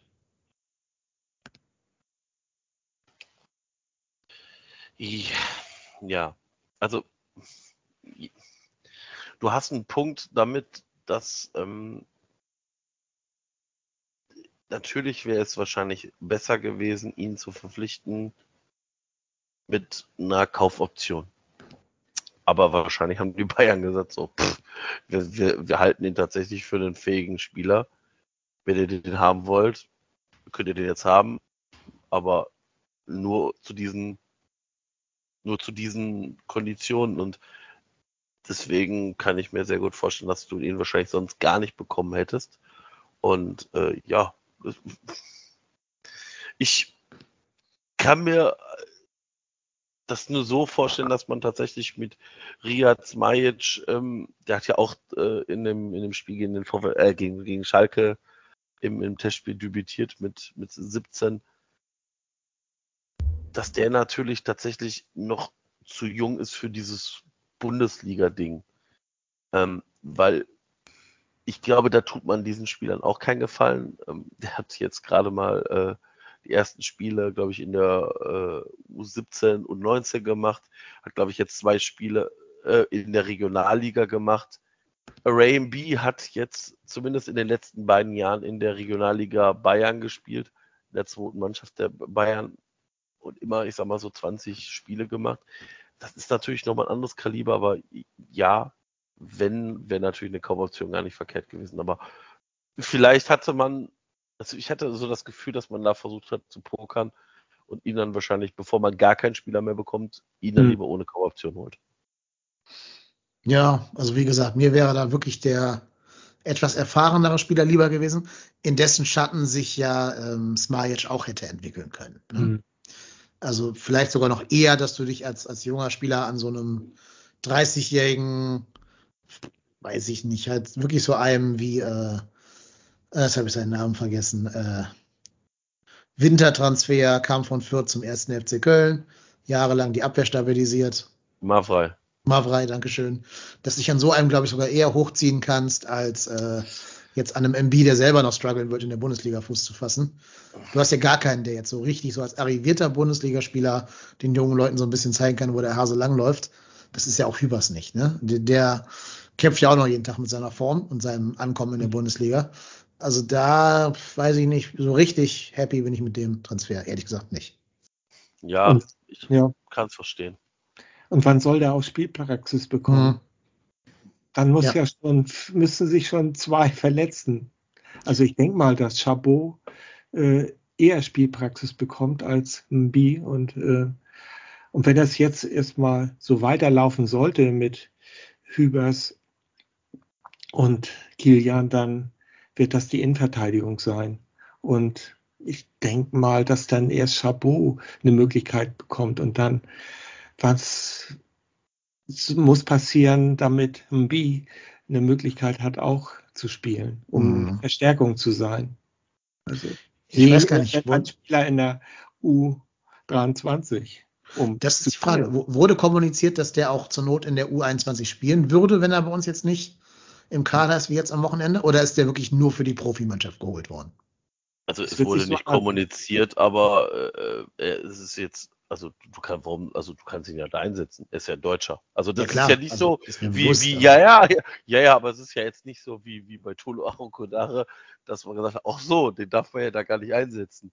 Ähm, demnach, äh, Nee, aber dann brecht es ja auch für den Spieler nichts, wenn der von der Regionalliga Bayern zur Regionalliga West wechselt. Also, ah, ich glaube schon, dass die Regionalliga West qualitativ auch nochmal eine Stufe besser ist. Ja, aber ja, aber ob du deshalb zum FC wechselst, um in einer anderen Regionalliga zu kicken, weiß ich jetzt nicht. Nee, aber ich glaube tatsächlich, dass er beim, F dass beim FC sicherlich die Chance auf Bundesliga bedeutend höher ist als bei Bayern. Ja, das natürlich. Das Steht außer Frage. Und äh, die Frage ist doch immer, welche, welche Konstellation hat bei sowas der Trainer? Also ich tatsächlich glaube ich, dass ähm, Steffen Baumgart da einen wahnsinnigen Impact auch drauf hat. Weil tatsächlich, wenn du glaubst, also es werden ja Spieler, es werden ja, es werden ja Gespräche mit diesen Spielern geführt. Und da keiner von uns bei dem Gespräch dabei ist, wissen wir alle nicht, was da besprochen ist. Und auch da ist ja die Leihe jetzt nicht nur für eine Halbserie, sondern für anderthalb Jahre. Mhm. Und ähm, vielleicht hat man gesagt, pass auf, ne, du kommst jetzt erstmal zu uns, dann akklimatisierst du dich in Ruhe und dann greifst du nächstes Jahr an. Also vielleicht ist das ja auch der, der, der Hintergrund. Mhm. Also ich, ich weiß es nicht. Ich bin tatsächlich gespannt. Ich ähm, bin auch sehr skeptisch. Ähm, aber äh, ja. Übrigens äh, zu deiner gelben Karte von Hübers. Äh, Hübers hat keine gelbe Karte. Es waren Lubicic und da war die zweite gelbe Karte am Spieltag. Thielmann, die gelbe Karten bei uns gesehen haben. Gut. Ja, trotz allem. Hübers steht aktuell bei drei. Ne? Ja, also ja. ist noch ein bisschen. Ja, hat noch ein bisschen Luft, genau, aber ist ja auch leider nicht immer der verletzungsfreieste Spieler gewesen in der Vergangenheit. Natürlich hoffe ich, dass es nicht aber so kommt. Ist, genau. Also einer von beiden, also sprich Chabot oder MB, wird schon noch Spiele machen. Da gehen wir davon aus. aus. Gehe genau. ich davon aus, ja. Ähm, kann auch immer mal sein. Also das Gute ist ja, du kannst ja Hübers sowohl links als auch rechts verteidigen lassen. Das heißt zum Beispiel, wenn jetzt, sagen wir, Luca Kilian aus irgendwelchen Gründen entweder ausfällt oder vielleicht in so ein Leistungsloch fällt, dann kannst du Hübers nach rechts stellen und dann würde ja diese Linksfußposition frei werden dadurch. Mhm. Das ist ja der große Vorteil, dass Hübers ja. halt zweifüßig ist oder beidfüßig ist ähm, und beide Positionen gleich gut spielt. Und der muss ja dann, also an ihm liegt es ja dann, den anderen zu führen, dass der halt dem entweder MV oder dem Chabot halt sagt, wie das beim FC so läuft mit Verteidigen. Das ist ja dann seine Position als jemand, der sechs Jahre älter ist als die beiden ähm, und schon ein paar Spiele für den FC halt gemacht hat in diesem Baumgart-Fußball. Das muss er halt dann eben machen. Ja. Aber, da, aber das ist bei, bei MB ist, also gilt ja das gleiche wie bei, bei Chabot. Also ich halte es tatsächlich für einen Wahnsinnsvorteil, dass die jetzt nicht sofort in dieser Rolle des, des Stammverteidigers gezwängt werden, sondern mhm. tatsächlich sich im, im Training genau das halt jetzt antrainieren, wie der FC spielen will. Und wir alle haben Steffen Baumgart diese Saison kennengelernt. Ähm, der wird denen das schon klipp und klar zeigen, was er will, was er von denen erwartet. Und da bin ich einfach gespannt. Also, also tatsächlich ähm, glaube ich, dass B natürlich eher tatsächlich Innenverteidiger Nummer 4 ist. Aber wie gesagt, ich, ich, es gibt ein paar Transfers, äh, da hätte ich nicht gedacht, dass die Spieler jetzt beim, beim jetzigen Stand schon auf den äh, Einsatzzeiten kommen. Also tatsächlich hätte mir vor der Saison gesagt, dass Dejan Lubicic äh, zu dem jetzigen Zeitpunkt so viele Spiele gemacht hat? Mhm. Hätte ich nicht gedacht. Mhm. Oder auch ja. Sali Özcan. Ja, also, ne, also da, da, haben wir ja ein paar Spieler, die tatsächlich ähm, jetzt irgendwie sich da so eingegroovt haben oder Benno Schmitz. Also ist ja tatsächlich Stammspieler und das kann ja ganz, ganz schnell gehen durch Verletzungen, Sperren, Formschwäche, dann allerbestes Beispiel ist Marvin Schwäbe. Hätte vor der Saison einer gesagt, so, und äh, in der Rückrunde spiel, spielst du dann mit Schwäbe als neue Nummer eins, hätte ich gesagt, im Leben. Also der hätte ich wahrscheinlich hier das Haus äh, und meine nächsten drei äh, Jahresgehälter ver Achso, ich dachte, du wolltest sagen, meine nächsten drei Kinder. So. die, die, die, auch wahrscheinlich. Also wahrscheinlich würden meine Kinder jetzt in irgendwelchen peruanischen äh, Restaurants irgendwelche Teller waschen, aber ähm, wahrscheinlich äh, hätte ich damit nicht gerechnet. Also das, da kann ja immer alles passieren. Und wie gesagt, es ist äh, vom Vorteil, dass wir jetzt in dieser Lage sind, dass wir auf Platz 6 stehen, mit äh, unfassbaren 10 Punkten Vorsprung, 12 Tore in der Tordifferenz, besser als stand jetzt Augsburg, bringt Sicherheit. Und ähm, ich bin da aktuell auch nicht bange. Nee. Was man halt sagen muss, die ganze Transferperiode, auch im Sommer schon, muss man unter dem Aspekt sehen, dass wir, glaube ich, Battle, Battle arm sind. Also ja, du siehst ja, ja. Wir, wir, mussten zwei, also einen Leistungsträger abgeben. Äh, wir hätten auch noch Skiri abgegeben bei einem passenden Angebot, was man so gehört hat. Äh, wir haben Meret als zumindest verlässlichen Einwechselspieler abgegeben und haben dafür zwei Laien getätigt von Spielern, wo der eine nicht mal eine Kaufoption hat und generell halt aus der Regionalliga kommt und den anderen kannte ja auch keiner so richtig. Also die ganze Transferperiode zeigt für mich, es geht uns noch schlechter, als mitunter gesagt wird. Ich glaube, die neuerlichen Geisterspieler haben uns auch noch, noch mal richtig hart getroffen. Jetzt, dass wir wieder 10.000 reinlassen durften nach dem Eilbeschluss da, ist wahrscheinlich ein Segen, ähm, uns so ein bisschen über Wasser zu halten. Aber du siehst, dass sämtliche Transferausgaben in die Zukunft geschoben worden sind. Ähm, und vielleicht kann es sogar sein, dass du dir nicht mal mehr Luca Kilian leisten kannst. Und dass deswegen auch diese beiden Transfers schon auf anderthalb Jahre getätigt worden sind. Das kann natürlich auch sein. Klar, das kann durchaus so sein, ja. Also ich bin sehr ich gespannt, glaube, wenn, glaube, die, wenn die Staffelübergabe kommt von Alex Werle zum seinem ja. Nachfolger, was der da so vorfinden wird in den Büchern.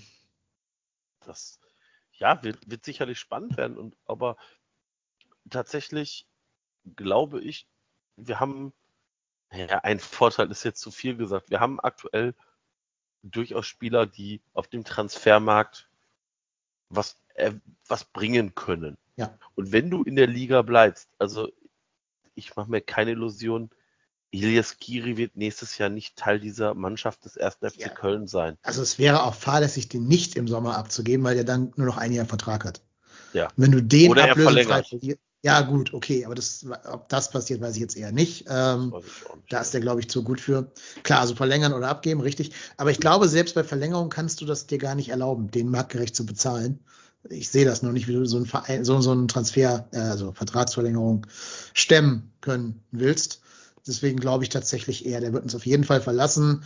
Frage wird nur sein, ob wir ein adäquates Angebot bekommen oder ob wir den unter Wert abgeben müssen. Weißt du, das fand ich bei Gladbach so krass, dass die Zakaria für was? 5 Millionen oder so abgegeben haben, ne? Ja. Leg das mal, 5 Millionen für Dennis Zakaria, der ist 23 oder sowas und Schweizer Nationalspieler, den gibst du für 5 Millionen an, an eine zahlungskräftige Mannschaft ab. Also, schon krass. Ja. 25. Ja, okay. ja. Das äh, gebe ich Marktwert von 27 Millionen laut Transfermarkt.de. Aber wäre Zakaria nicht im. Ja, klar. Ich weiß. Dann ablösefrei gewesen? Das war das Problem, ja, ne? klar. Also hier steht jetzt 8,6 Millionen, aber ist natürlich trotzdem nochmal 20 Millionen unter dem Marktwert. Äh, boah, krass. Und das gleiche wird ja mit Ginter zum Beispiel auch passieren. Ne? Also das musst du halt verhindern, dass jetzt die Skiris und so weiter, die auch die anderen Spieler, deren Vertrag bald ausläuft, dass die dir für einen Apfel und ein Ei abgekauft werden. Mhm. Ja, das stimmt. Das ist, das ist, wäre natürlich, wäre natürlich bitter, aber ja, da müssen wir in die neue sportliche Leitung ein bisschen vertrauen. Ja. Ich glaube, da schließen ganz gut unsere Hörerfragen an, die ich gerne noch hier unterbringen möchte, denn wir haben ein paar bekommen. Ähm, wie bewertet ihr die Arbeit von Jörg Jakobs, fragt der et halb Miamianer. Also, wenn man nichts hat, kann man nichts ausgeben. das ist halt, das ist und, eine schöne das Formulierung. Ist, das, ähm, na, also, ja, also, ich muss ganz ehrlich sagen, also, für mich die Frage, also ich, ich kann das noch nicht so ganz beantworten, weil ich nicht weiß, wie viel Prozent Jörg Jakobs an den Transfers, die wir im Sommer getätigt haben, also Schwäbe, Lubicic und Co., zu verantworten hat.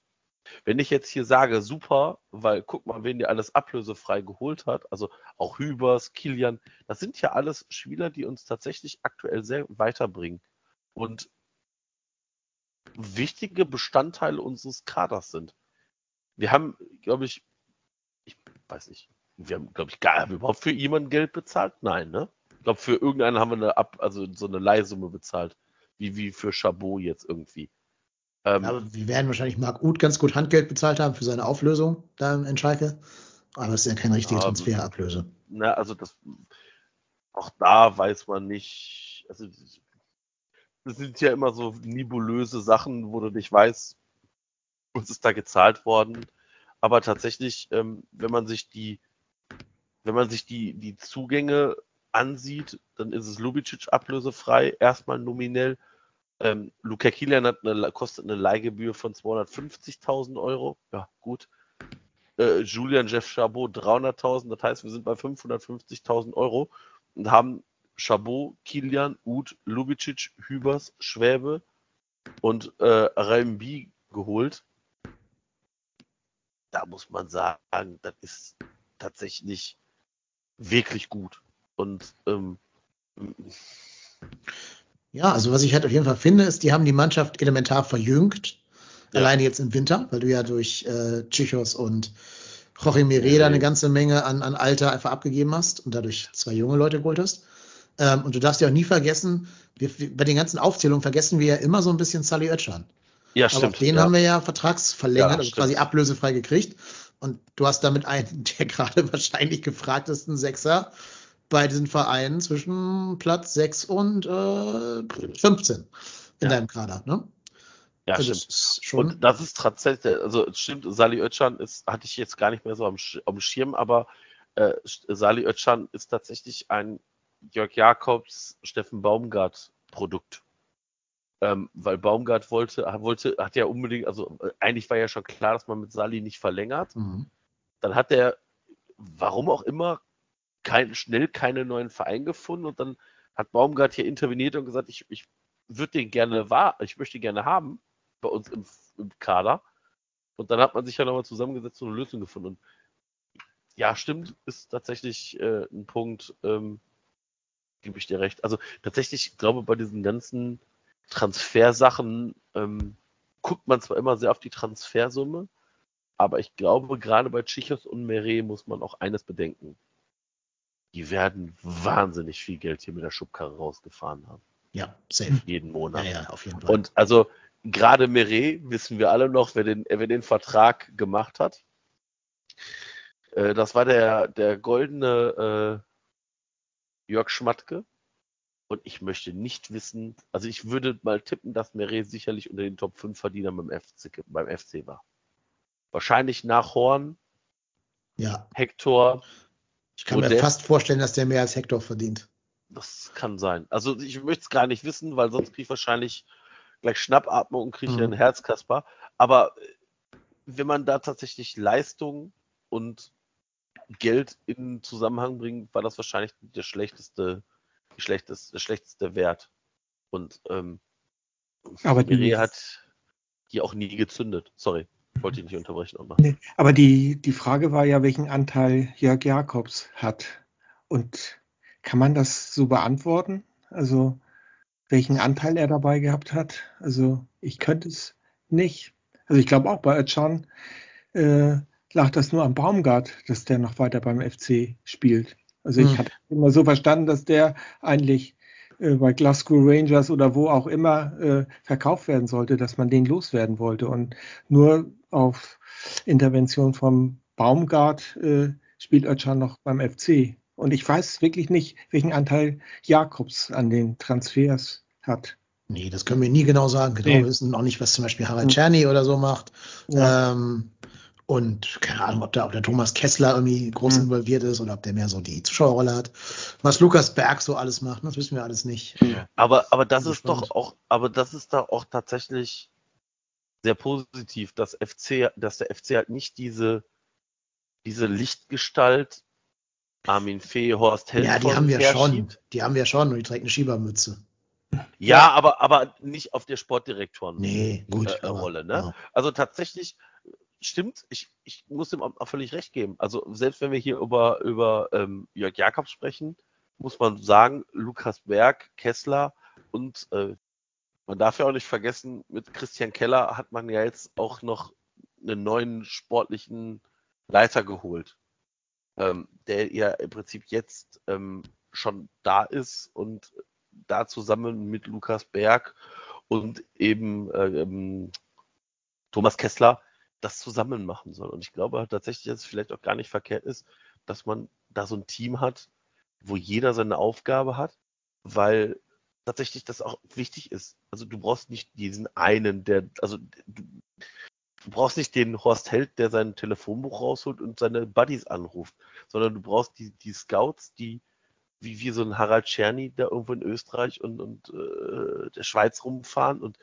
so Lubicic scouten, dir weiterempfehlen und dann musst du halt die Leute haben, die diese Transfers abwickeln und das einfach kaufmännisch im Auge haben. Und ich habe das Gefühl, dass der FC da tatsächlich auf äh, auf einem guten Weg ist. Und ähm, Christian Keller startet ja auch erst irgendwie im, ich meine im April, Mai April, ja. diesen, diesen Jahres und dann wird man sehen, wie sich das neue Team aufstellt und mein Gott, wir können es sowieso nicht, wir können sowieso nicht äh, ändern, aber ich bin da jetzt nicht, ich habe jetzt keine schlotternden Knie, wenn ich an die Zeit jetzt denke. Nö, und das war auch schon mal anders ne, in der Vergangenheit. Ja, hier. genau, genau, genau, genau. Ja. Naja, wir machen weiter mit den Hörerfragen. Da gibt es ja noch einige, die ganz spannend sind. Ähm, eine hat mir gerade schon so ein bisschen angeschnitten. Und zwar ist ja Skiri jetzt endlich wieder zurück beim, beim ersten FC Köln. Ist ja leider mit äh, Tunesien ausgeschieden im, im Afrika Cup. Ich glaube, an Burkina Faso gescheitert. Hat auch alle Spiele gemacht, immer von Anfang an. Also, wie wir ihn kennen, wahrscheinlich irgendwie 56 Kilometer während des Afrika Cups abgerissen oder noch mehr und wahrscheinlich auch zu Fuß nach Hause gelaufen, so als kleinen Spaziergang von Kamerun nach Köln. Ähm, ja, und der wird jetzt wahrscheinlich wieder in die Mannschaft drängen. Jetzt ist ja die Frage, also spielt der direkt? Glaubt ihr, er muss sich erst im Training nochmal anbieten? Und wer muss für ihn weichen, wenn er spielt? Ist tatsächlich, ähm, also ich hätte, ich hätte nicht geglaubt, dass wir nach dem, nach dem Afrika Cup darüber sprechen und sagen, hm, wo spielt der denn überhaupt? Und wenn ja, wer rotiert raus? Bin da so ein bisschen hin und her gerissen. Ich glaube, da steht und fällt damit, ob wir ähm, mit der Doppelsechs spielen oder halt mit einem Sechser. Ähm, wir haben jetzt diverse Spiele gesehen, wo wir halt ähm, mit einem Sechser gestartet sind und neben den beiden, ich sag jetzt mal, Offensiven, in dem Fall jetzt Thielmann und Modest, halt vorne noch jemanden hatten, wie in dem Fall Lubicic. Ähm, ich kann mir alles vorstellen. Also hat den wahnsinnigen Effekt, dass du natürlich einen der beiden, also ich würde mal tippen, Lubicic oder Özcan, rausnehmen musst.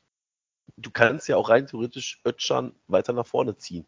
Also Özcan auf die jetzige Lubicic-Position, halt hinter die Spitzen, Skiri dahinter und dann hast du halt im Wechsel, mit der Wechselmöglichkeit noch den Lubicic in der Hinterhand oder Lubicic und Skiri oder Skiri erstmal draußen oder also ich bin gespannt. Also weiß jetzt nicht, wie fit Skiri nach dem Afrika Cup ist. Ähm, aber das wird sicherlich sehr, sehr spannend. Also das wird auch spannend sein, wer äh, da jetzt aus dem Kader fliegt, weil ähm, auch da muss man ja sein, sagen, wir haben aktuell, glaube ich, keinen Verletzten. Das heißt, du hast äh, jetzt neben den Startspielern noch Duda gehabt, Janis Horn, Anderson, Kingsley Schinde und Schaub. Und ja, also aus dem Kader Chabot, wird Thomas Ostrak fliegen. Ne? Ostrak oder Easyway. Ich bin mir ja, nicht, also ich glaube Ostrak. tatsächlich. Doch, Ostrak. Meinst du Ostrak? Doch, wenn wir so Ja, dann, aber ne, also das ist, ja, aber das ist, ich bin gespannt. Also dann, es wird, wird spannend sein, wer welchen Kaderplatz einnimmt. Ich persönlich glaube auch, dass Giri gegen Leipzig spielt und ich glaube, dass wir gegen Leipzig mit Doppel-6 spielen werden. Einfach aufgrund der spielerischen Qualität, die da Leipzig an den Tag bringt. Ich, ich, glaube, Baumgart wird aus Prinzip mit seiner einfach 6 spielen, nur um zu zeigen, dass er sich das traut. Das so oder so. Er hat es ja nicht mal gegen die Bayern gemacht mit Doppel 6. Ja, das ist ja nochmal besser als, als Leipzig. Ja, ja. Also, ich, ich, bin tatsächlich gespannt. Also, ich glaube halt, Skiri ist halt ein Wahnsinnsfaktor. Allein dieser, diese Laufwege, die der hat, das Spielverständnis. Wird spannend sein, wie, welche Konstellation es gibt. Ich weiß ehrlich nicht, ob Lubicic, also Özcan sehe ich nicht auf den Außen. Ähm, haben wir auch schon gesehen, fand ich, finde Sali ist auf, äh, auf Außen verschenkt. Bei Lubicic bin ich mir nicht ganz sicher, ob der auf Außen spielen kann. Also haben wir, glaube ich, auch schon einmal gesehen, fand ich bisher auch nicht so berauschend. Der hat eigentlich schon recht, äh, recht oft auf den Außen bei uns jetzt gespielt. Ja, aber fand, fand ich bisher nie richtig gut. Also ich finde ihn tatsächlich im Zentrum deutlich effektiver hm. und, und, und, gefährlicher und auch passender. Und vor allem musst du auch dann sagen, na, wen willst du denn auf Außen? Also jetzt hast du auf Außen Uth und Keins gehabt. Dann ist eigentlich nur Marc Uth, weil Florian Keins tatsächlich für mich da der bessere Außen ist. Auch, weil auch Marc Uth kein Außenspieler ist. Nee. Nee, aber ich meine, die Idee von uns ist ja immer, dass der vordere Außenspieler nach innen ziehen soll, um die Außenbahn für den Rechts- oder Linksverteidiger freizumachen, also ja. für Hector oder für Benno. Und wenn du das so spielst, ist ja was ganz anderes, als wenn du da wie Markus Gistol ganz stumpf ja, ja, gegen Union Berlin mit, mit zwei ne, mit, mit sechs äh, äh, zentralen Spielern auf den Außen spielen sollst. Das. Also das klappt natürlich dann nicht. Aber Baumgart, der weiß ja, warum er dann Jubicic oder halt einen Scully hinstellt. Ähm, ich kann mir aber auch vorstellen, dass gerade wegen dieser Unkonzentriertheit von Jubicic und dieser doch abnehmenden äh, Spielkompetenz im Laufe des Spiels der Jubicic wieder auf die Bank müsste und dafür äh, Skiri dann reinrotieren würde. Gerade weil der im Training auch Vollgas gibt. Aber ich kann mir auch vorstellen, dass zum Beispiel wieder so ein, so ein Louis Schaub plötzlich den Vor Vorzug vor Marc Uth äh, bekommt.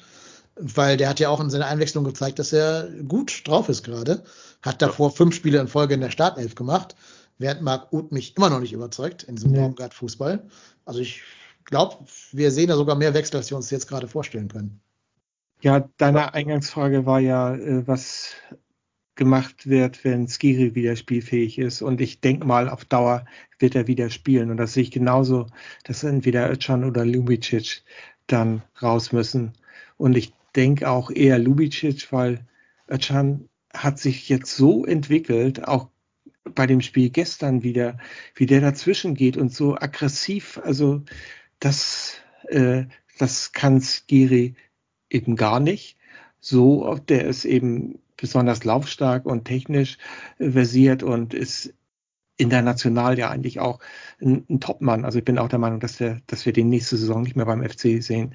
Aber, und, und zu Uth, ja, der hat mich auch ein bisschen enttäuscht. Und gestern hatte ich es gesehen, der ist wirklich der erste von denen, der, äh, bei dem man erkennen kann, dass er konditionell nicht so auf dem Stand ist wie die anderen.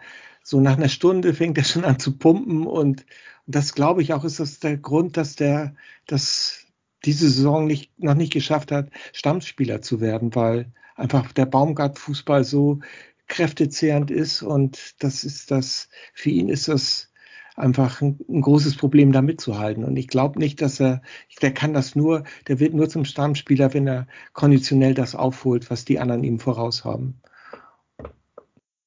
Ja, ne, da sieht man, was ein Jahr oder, oder zwei Jahre Schalke, Ein Jahr Schalke, äh, ja. ein Jahr Schalke aus dir machen können. Ne? Ja. Die haben ja, Ja. scheinbar da alle Defizite in der, in der Kondition gehabt, nach äh, fünf Trainerwechseln oder was auch immer. Und das hat Marc Uth scheinbar bis heute nicht ganz überwunden. Ich fand auch, als gestern äh, Duda für Ut gekommen ist, dass der wirklich gut gespielt hat. Also das war belebend für den FC. Also und wenn man so die Werte vergleicht, dann ist ja Duda gehört auch zu denen, die, was jetzt nicht die genauen Kilometerzahlen, die er abreißt äh, im Spiel, aber die sind doch auch nicht weit entfernt von dem, was Skiri läuft. Ne? Mhm. Ja, definitiv. Ja, aber allein, dass wir jetzt so viele Personalien hier auf gleichem Niveau diskutieren können, Ja. äh, spricht ja auch Bände für unsere Entwicklung. Letztes Jahr hat sich die Mannschaft ja wirklich quasi von selbst aufgestellt. Du musstest nur fragen, spielt jetzt mal, weiß ich nicht, Thielmann oder offensiv dann, dann Iso Jakobs oder sowas. Das war so die maximalste Frage. Und jetzt kannst du quasi auf jeder Position sagen, Janis Horn könnte für Hector auf links verteidigen und Hector nach innen gehen dafür. Skiri kann jeden im Mittelfeld in der defensiven Position ersetzen. Die Innenverteidigung kannst auch Chabot reinschmeißen und so weiter. Also, das ist schon ein großer Luxus. Das, das macht es natürlich auch einfacher, auf mögliche Sachen zu reagieren, auf, auf, auf mal einen schlechten Tag, auf Unkonzentriertheit, auf eine Gelbsperre. Und das ist tatsächlich, das haben wir letzte Saison so nicht gehabt. Das, das stimmt, ja. Mhm. Genau, da passt doch vielleicht auch die nächste, nee, das ist, keine nächste Frage, das ist ein Kommentar, ein Druko. Äh, und zwar hat auf die Frage, für wer, wer raus soll für Skiri, schlägt der Mappé vor äh, Uth oder Thielmann. Und zumindest Thielmann sehe ich halt überhaupt nicht. Also, Also- wenn, sich, wenn sich irgendwer einen Stammplatz verdient hat nach dem Spiel, ist das Thielmann. Mhm. Äh, Ich muss auch ganz ehrlich sagen, ich finde die Kombination Thielmann-Modest. Es ist ja nicht so, dass dieser Podcast das nicht schon mal gefordert hat, ne? Also Ja, das war der Hörer Danke. Ben, das war nicht wir, ne? Muss man Ja, fairerweise stimmt, sagen. ja, stimmt. Aber äh, wir haben es ja dann aufgenommen und tatsächlich hier, glaube ich, auch diskutiert. Also tatsächlich, ähm, ich finde es gut. Ich finde es auch deutlich angenehmer als Anderson Modest irgendwie. Ähm, weil ich finde, Thielmann bringt einfach nochmal diesen, diesen spielerischen, diese spielerische Qualität. Also ich glaube, das Ding von Thielmann hätten wir so von Anderson nicht gesehen vor dem 1-0. Und ähm, Meinst du? nee, bin ich der felsenfesten Überzeugung, Sebastian Andersson kann mich eines Besseren belehren, aber das wird schwierig.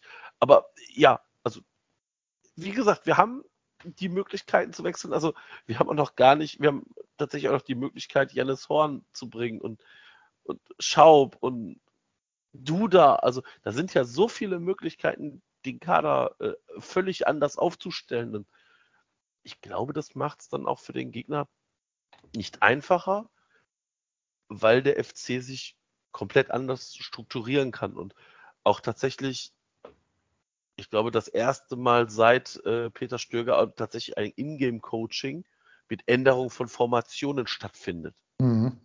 Und ich glaube, das ist halt tatsächlich auch wichtig, dass man, dass man sieht, oh Mensch, die Freiburger werden gerade ein bisschen stärker kommen. Wir verdichten das Zentrum mit Hector und bringen dafür den, den Jannis Horn, der jetzt hinten links sicherlich nicht fünf Nummern schlechter ist.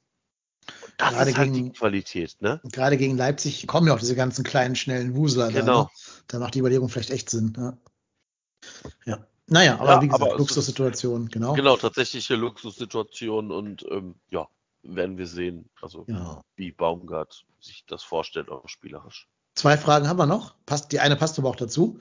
Monty Burns, na, na, na, na, Monty Burns, möchte wissen, was zur Hölle ist mit Sully passiert? Was hat ihn so viel besser gemacht? Ich glaube, was hat ihn besser gemacht? Spielpraxis. Richtig. Und äh, ich glaube auch ein Trainer, der an ihn glaubt. Ich hatte ja. immer so das Gefühl, genau. dass Sali Özcan immer so dieses, diesen Talentestempel bei uns hatte, aber irgendwie nie so ein Trainer so 100% ja. in, ihn in ihn vertraut und auf ihn gesetzt hat. Und du siehst ja, wenn Sali mal mehr als, ich sag jetzt mal vorsichtig, zwei, drei Spiele hat, dass der halt eben genau das auf den Platz bringen kann. Und deswegen, ja, also mich freut das immer, wenn Spieler aus dem eigenen Nachwuchs hochkommen und sich hier etablieren. Ähm, tausendmal mehr, als wenn es äh, irgendein Neuzugang irgendwie aus Zimbabwe, Sierra Leone, äh, Portugal, wo auch immer herkommt, ist mir völlig egal. Aber wenn das Eigengewächse sind, die hier aus dem Verein kommen und hier eine, hier aufgewachsen sind und diese, diese FC-DNA tatsächlich doch noch mal ein bisschen mehr mitschleppen, ist es doch, ist doch immer besser. Also, ich für meinen Teil finde es cool, freue mich, dass Sali diesen, diesen Move gemacht hat, bei uns geblieben ist und auch tatsächlich aktuell zeigt, dass er zu Recht bei uns geblieben ist und ja. bringt es mit Leistung auf den Platz. Nee, bin ich ganz bei dir. Hätte ich genauso geantwortet auf diese Frage. Früher war das so, wenn es nicht lief, waren die ersten, die raus mussten, Jorge Mire und Sally Oetschan bei Herrn äh, Gistol. Und jetzt darf er sich auch mal schlechte Spiele erlauben, kriegt auch im Spiel den Support, dass ihm dann halt Hector an die Seite gestellt wird im laufenden Spiel, wenn, wenn Baumgart oder Pavlak merken, ah, das läuft gerade nicht alleine mit einer einzigen Sechs. Und dieses Vertrauen zahlt er mit Leistung zurück. Ich finde vor allen Dingen beeindruckend, wie er das schafft, dass ihm im direkten Zweikampf, gerade bei so Ecken oder so, der Ball nicht abgenommen werden kann, weil der körperlich so ein Brett ist anscheinend, die kriegst du nicht weggeschoben vom Ball. Ne? Da gibt ja manchmal so Szenen, wo es so ins Rangeln übergeht. Äh, überhaupt, Zweikämpfe mit Sully sind immer Rangeln und nicht ballbezogen. Aber da gewinnt er halt. Der ist, der ist ja gelernter Ringer, tatsächlich. Also kommt er ja eher aus dem Sport. Das siehst du ihm halt mit jeder Faser mhm. seines Körpers an. Aber ich finde, er hat sich auch noch körperlich verändert. Also er hat ja in den letzten Jahren sehr rein auf dieses Kraftding trainiert, ne, diese, diese Boss-Transformation gemacht. Ähm, das hat er jetzt so ein bisschen nochmal umgestellt, habe ich so den Eindruck. Und macht jetzt noch ein bisschen mehr wieder auf Athletik, auf äh, Beweglichkeit und, und ein bisschen weg von diesem reinen Mucki-Ding. Tut ihm gut. Das in der Kombination mit den Punkten, die du gerade genannt hast, Marco, führen dazu, dass wir einen, ja, Sully sehen so gut wie er noch nie gewesen ist, hier war. Und das gilt ja auch für viele andere Spieler. Ja, genau. Also die, und das ist immer wieder Baumgart. Also, was hat ja. Benno Schmitz besser gemacht? Was hat ja. Schindler ja. besser gemacht, so dass er überhaupt mal in Frage kommt. Ne? Also, das, der war abgeschrieben. Äh, da gibt es eine Reihe anderer Spieler, die einfach wie Neuzugänge betrachtet werden müssen. Was hat Modest auf einmal besser gemacht? Mhm. Also ich habe bei Modest gesagt, der kommt nie wieder auf die Beine. Also das ist ja. und jetzt ist er top in der Bundesliga ja. und hat wieder, ich würde sogar sagen, der international, also Kopfball, alle Facetten eines guten Stürmers. Er läuft sogar und ist konditionsstark und es liegt wie bei Sally Oetschan, ist es auch bei vielen anderen Spielern. Der Schlüssel ist für mich Baumgart. Also Definitiv. Ich meine, überleg mal, was du für einen 14-Tore-Stürmer auf dem freien Markt bezahlen müsstest. Mhm. Na, und Baumgart sagt dann, ich nehme den, der schon da ist und mache den wieder so fit, wie er mal vor drei Jahren war oder vor vier. Und dann läuft das. Das ist tatsächlich sehr, sehr stark. Aber apropos Baumgart, da schließt dann auch die letzte Frage für heute an. Die haben wir am Anfang der Podcast-Folge schon mal so ein bisschen angerissen. Ne, dieses virale Video da auf TikTok, was die Tochter von Steffen Baumgart auf TikTok hochgeladen hat. Da fragt der Daniel Gehmann, der ja auch schon hier mehrfach zu Gast war, liebe Grüße. Die Home Story von Baumi, Kult oder Fremdscham? Also, wenn es das Video nicht ge gegeben hätte, hätte ich mir das genauso von meinem geistigen Auge ausgemalt. Hm, weiß nicht, ob man jetzt hingehen muss und das filmen muss und online stellen muss. Ja. Ähm, also, ich hätte mich nicht gewundert, wenn der FC gesagt hätte, passt auf, nimmt das mal auf und wir wenden das hier für 24-7 und. Ja, aber dann wäre es auf anderen Kanälen veröffentlicht worden. Ja, ja, genau. Mhm. Ne, also ich, hätte mich nicht gewundert, aber ja, ich, ich tue mich schwer damit, weil äh, auf der anderen Seite denke ich mir so, ja, so, aber nochmal, es ist mir eigentlich tausendmal lieber, der ist auch jetzt so vom Fernseher und das im Stadion ist nicht nur gespielt, sondern ich glaube tatsächlich, dass, das, dass der so ist. Also aus Paderborn hört man ja ähnliche Sachen, dass der eben genauso ist und sich ja eben nicht verstellt. Ähm, aber ob der jetzt zu Hause mit der Schiebermütze rumrennt, weiß es nicht. Ich weiß ja, es nicht. Ja, ja, also, genau das. Das war das mit, das, das, ne, also wenn der jetzt keine Schiebermütze aufgehabt hätte und von mir das T-Shirt angehabt hätte, weil, also ich kann mir schon vorstellen, ich kann mir tatsächlich vorstellen, dass er sagt so, ja komm, hier das T-Shirt, das gebe ich am Montag beim FC ab, dann waschen wir uns das, dann müssen wir unsere Waschmaschine nicht dafür benutzen. Also ich, das, das, genau das kann ich mir tatsächlich vorstellen.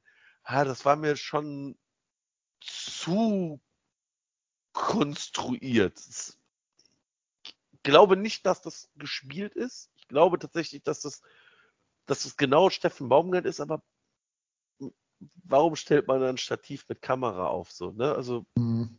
das ist ja jetzt auch immer der gleiche Winkel. Das ist nicht irgendwie so eine Handykamera, wo man mal eben draufhält und das mal eben so filmt, weil man denkt so, ja, der Vater, der dreht hier wieder, der dreht hier wieder frei. Ähm, sieht schon nach gewollt aus. Und ja. ja, also ich, ich Muss glaube man auch. nicht, aber boah, ganz ehrlich, ey, ohne Scheiß, haben wir nicht andere Probleme. Also ich bin froh, dass wir so einen Trainer haben und das, ich, da möchte ich jetzt auch nicht den Stab drüber brechen. Nein, aber ich bin ganz bei dir. Ich glaube, dieses Rumhappeln vom Fernseher ist total authentisch. Das stellen mir wirklich exakt eins zu eins so vor. Ich glaube, wenn du dem sagst, du musst 90 Minuten äh, still vorm Fernseher sitzen oder eine Atombombe geht hoch, dann haben wir bald den nuklearen Fallout in Deutschland. Das kann er nicht. Ähm, das ist total authentisch, auch dass er so rumhüpft und rumschreit und so, alles authentisch. Dass eine Kamera mitläuft, dass der seine Schiebermütze trägt, dass der dieses Hemd da trägt, dieses Polohemd, dass das dann auch bei TikTok hochgeladen wird von, vom Account der Tochter. Das ist alles, glaube ich, ein starkes Markenbewusstsein von ihm. Ähm, und ich glaube, der. Meinst du von ihm? Von der gesamten Entourage, ne? Der, also die, die Tochter hat ihn ja nicht gezwungen, die Mütze aufzusetzen. Aber der, wusste, der wird ja wissen, dass die Kamera da war. Der wird da wohl nicht heimlich gefilmt worden sein. Ähm, die haben da schon durchgesprochen vorher. Ja. Also du kannst ja nicht filmen und sagen hier, ne? Ja, okay, ja. Heimlich schenk, filmen. Schenk. Das ist, glaube ich, nicht. Und die werden überlegt haben, wie launchen wir das? Er hat es auch selber auf Instagram äh, geteilt, by the way, ne? Also mit seinem Instagram-Account hat er das Video geteilt. Es war also jetzt nicht irgendwie gegen seinen Willen oder so. Ähm, und der wird sich diesem ganzen Markending schon bewusst sein. Auch diesen, ich glaube, der findet ja schon ganz geil, dass er so als der Erwecker von Köln wahrgenommen wird. Das schon, das schmeichelt ihm auch ein bisschen, glaube ich. Ähm, ist auch legitim, wird es mir wahrscheinlich auch, wenn ich so verehrt werden würde. Ich glaube, wir müssen aber als gesamten Verein, auch als Fan, dumm um den ersten FC Köln herum aufpassen, dass wir nicht in so einen Personenkult verfallen. Den gab es ja schon so in Ansätzen bei Stöger, den gibt's bei Modest mit, mit Modest-Liedern und hier Augen, Smiley, Hand, Symbol da mit der Brille und so. Ähm, Und das gab es bei Lukas Podolski natürlich auch logischerweise. Das gab es davor schon in den 80ern. Das gab es bei Toni Polzer, das gab es bei, beim Tünn, das gab es bei Wolfgang Overath. Das ist, ist uns nicht fremd. Es ist so ein bisschen in der Club-DNA drin. Ich finde es aber nicht gut. Ähm, ne? Kill your idols, würde ich an dieser Stelle einfach mal sagen. Don't follow leaders, watch the parking meters, würde Bob Dylan sagen. Ähm, und da, glaube ich, müssen wir aufpassen, dass nicht in so ein so ein überkultiges Ding steigern zu lassen. Ich glaube, da wären wir nur enttäuscht unterm Strich. Und sowieso gilt, keine einzelne Person ist größer als der Verein oder als die Mannschaft. Und da sollten wir als, als Fans aufpassen, den Typen nicht so sehr zu überhöhen. Bei allen Leistungen, die wir jetzt hier wirklich über 100, äh, eine Stunde 30 hinweg äh, ausgewälzt haben, was der alles gut macht und was der alles richtig macht und wie viel Anteil der am aktuellen Aufwärtstrend hat. Keine Frage, will ihm keiner absprechen. Trotzdem sollten wir aufpassen, nicht in so einen Personenkult einzufallen. Ja, ich habe es auch eindeutig als Show eingestuft und irgendwie ist es mir auch egal. Und also ich bin, bin kein Bundesliga-Trainer, aber wenn ich mir vorstelle, ich würde in seiner Situation sein, dann möchte ich das Spiel allein sehen und nicht mit der Familie und mit Hund, dann werde ich mich auf das Spiel konzentrieren und dann vielleicht auch noch zu irgendeinem, er hatte ja noch Kontakt zu einem im Stadion und äh, dem vielleicht noch was sagen und mir was sagen lassen, aber nicht die Familie im Hintergrund mit Hund und allem drum und dran, die sagen nichts, also das kann ich mir einfach nicht vorstellen, aber bei Baumgart äh, kann man sich ja viele Dinge nicht vorstellen. Und in der Außendarstellung manche Dinge sind mir auch, ja, ist ein bisschen zu viel, aber wenn er es gut findet und andere, dann sollen sie es machen. Also ich brauche es nicht. Ich konnte es mir auch vorstellen. Also ich hatte auch mit meinem Sohn darüber gesprochen, wie ist Baumgart vor, wenn er sich das vom Fernseher anguckt. Dann haben wir beide so gesagt, der läuft bestimmt wie so ein Tiger im Käfig, immer links, rechts, hin und her und kann nicht eingreifen und möchte so gerne raus. Und so war es ja auch. Aber ich sehe es auch so, das war ein bisschen konstruiert auch. Also ja, aber peinlich fand ich es nicht, aber ich brauchte es nicht. Genau. Der nächste Schritt wäre es, die jetzt einfach alle so eine Schiebermütze tragen. Ne? Die beiden Töchter, die Mutter und der Hund, Hund alle so eine Schiebermütze. Der Hund, genau. also jetzt mal ganz ehrlich, ne, der Hund ist für mich der geilste. Wie ja. der auf der Schulter immer, ja. wie der immer auf die Schulter geht. Und ohne Scheiß, guckt euch mal bitte das Logo des ersten FC Köln an. Meinst du, der hat den Geißbock imitiert? er hat den Geißbock gemacht. Ja, ich weiß nicht, wie der Hund heißt. Äh, also tatsächlich, äh, ich guck mal, ob ich hier Ich glaube, wir werden es bald erfahren aus den einschlägigen Medien. Jori. Jori. Jori. Familienhund Jori. Ja. Also, viele, ja. viele Hundeliebe geht äh, zur Familie Baumgart und dem Hund.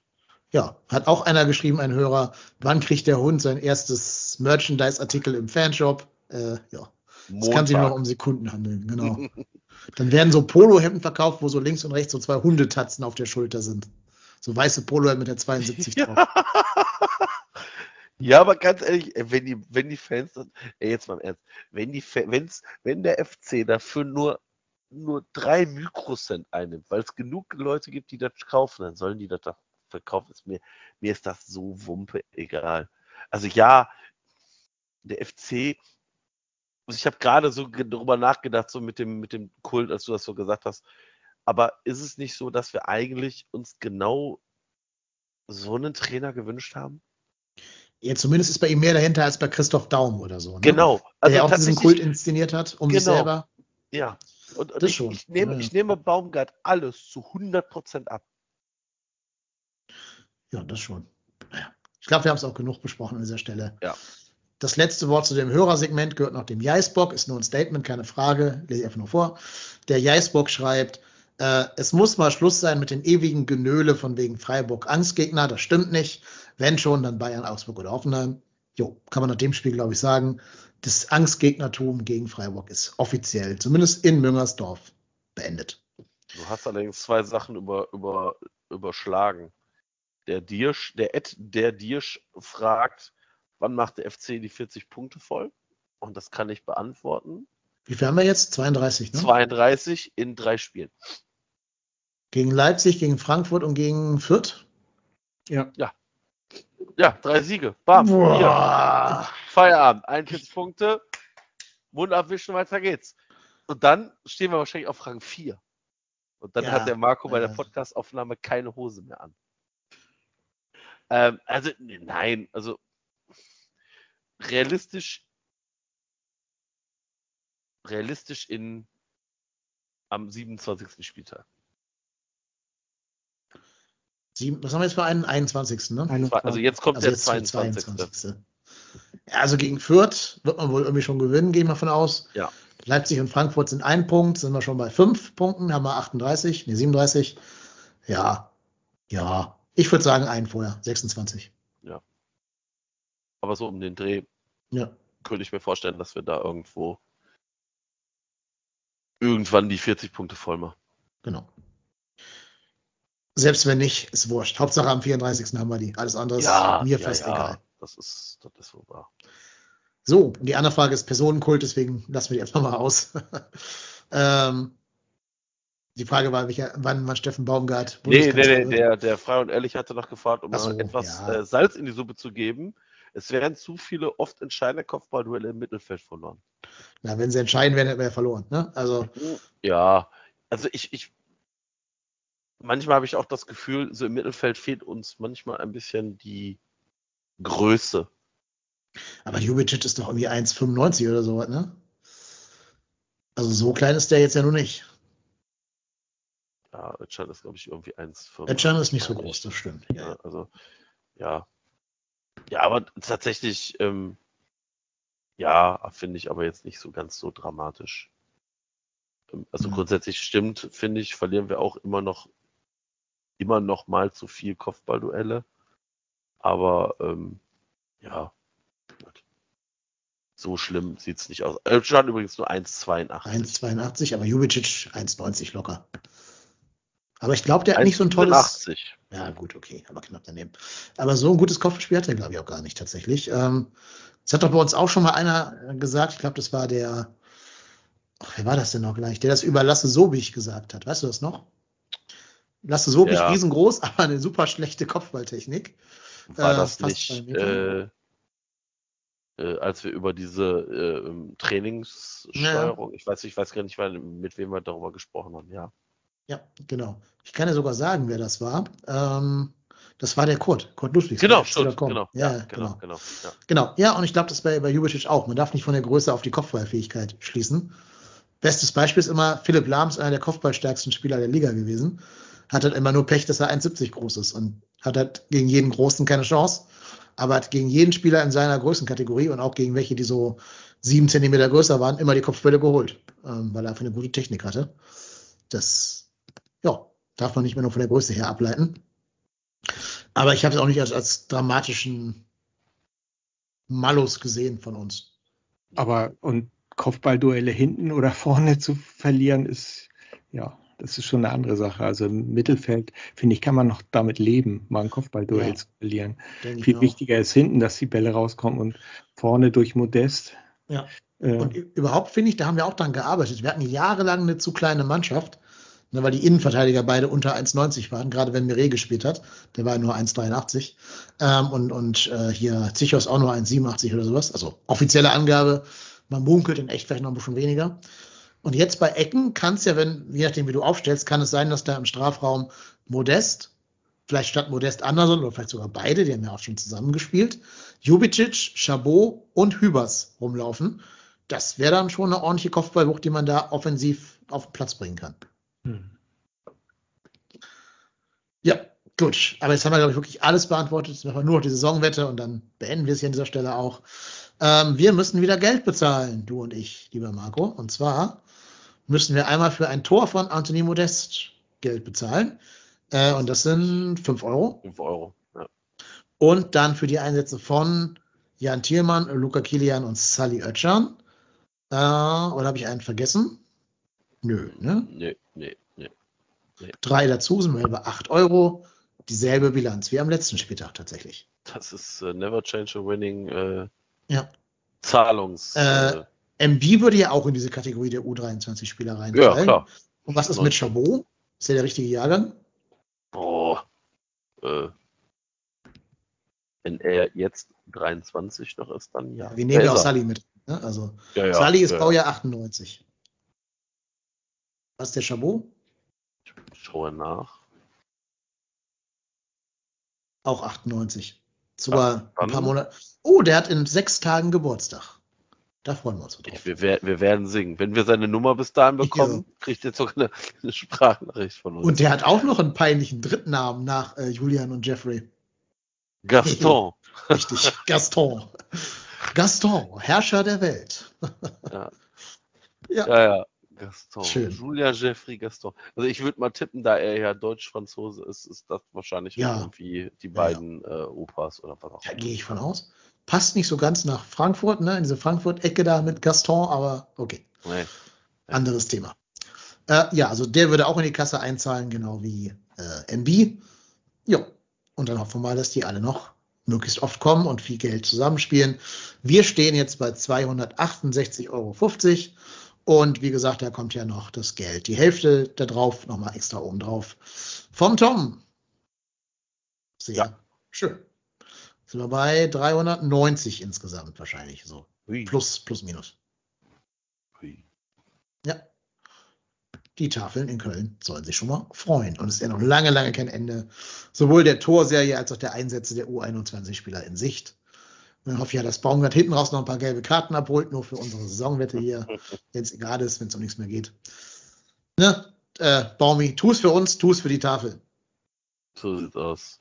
Ach mit Otze. Okay, dann haben wir es für heute geschafft. Das war die 163. Folge von Trotzdem hier. Unser Gast heute, der Ottmar. Lieber Ottmar, vielen Dank, dass du da gewesen bist. Danke für deine Zeit. Ja, danke für die Einladung. Immer gerne wieder. Liebe Grüße nach Hamburg, also von Hamburg nach Hamburg. Ähm, inzwischen, glaube ich, haben wir jeden FC-Fan von ganz Hamburg einmal zu Gast hier gehabt. Ist ja auch schön, genau. Und irgendwann nach Corona machen wir so ein riesengroßes Public Viewing hier in Hamburg, wenn der FC sich für die Europa League qualifizieren kann oder so. Jo, Marco, auch dir vielen Dank, dass du wieder da gewesen bist. Und ich hoffe, deine Kinder müssen nicht ins peruanische Restaurant zum Teller waschen. Nö, nö, sieht ja gut aus. Und Auch äh, auch äh, an alle, die, die hier zuhören und sich denken, Mensch, äh, das möchte ich möchte ja auch mal Teil des Podcasts sein. Traut euch, schreibt uns an, schreibt mich an, schreibt den Podcast an.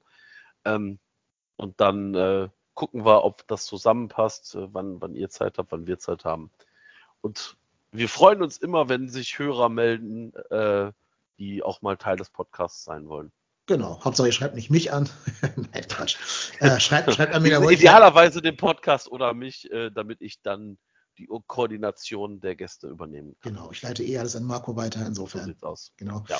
Ähm, ja, das und dann ne, einfach mal unmarkierte 50 Euro rüberwachsen lassen, dann ist das gar kein Problem mit der, mit der Teilnahme. so sieht's aus. Genau. Apropos, wenn ihr gerne 50 Euro rüberwachsen lassen wollt, ohne hier Gast sein zu müssen, könnt ihr das tun, indem ihr auf www.trotzdemhier.de spenden geht und dort euch informiert, wie man uns unterstützen kann. Nicht, weil wir gerne in Saus und Braus leben, sondern weil der Podcast Kosten verursacht. Und durch eure Spenden können wir kostendeckend arbeiten. Und das ist doch schön, wenn man für dieses Hobby hier nicht nur extra draufzahlen muss, sondern ne, mit ein paar Euro im Monat da ähm, unterstützt wird. Das machen ganz viele Leute ganz toll. Ich, wie gesagt, nenne leider keine Namen, weil wir es nicht abgesprochen haben. Aber vielen Dank an alle. Sind dieses Jahr fast schon 300 Euro an Spenden zusammengekommen. Also fast so viel wie auch für die Saisonspende tatsächlich. Ja, sehr schön. Vielen Dank und ja, bleibt uns gewogen. Schaltet auch nächste Folge wieder ein, wahrscheinlich dann nächste Woche Montag, wenn wir über einen 7 zu 0 Sieg gegen Rattenballsport Leipzig reden werden. Bleibt uns gewogen, macht es gut, bleibt gesund und tschö. Ciao. Ciao.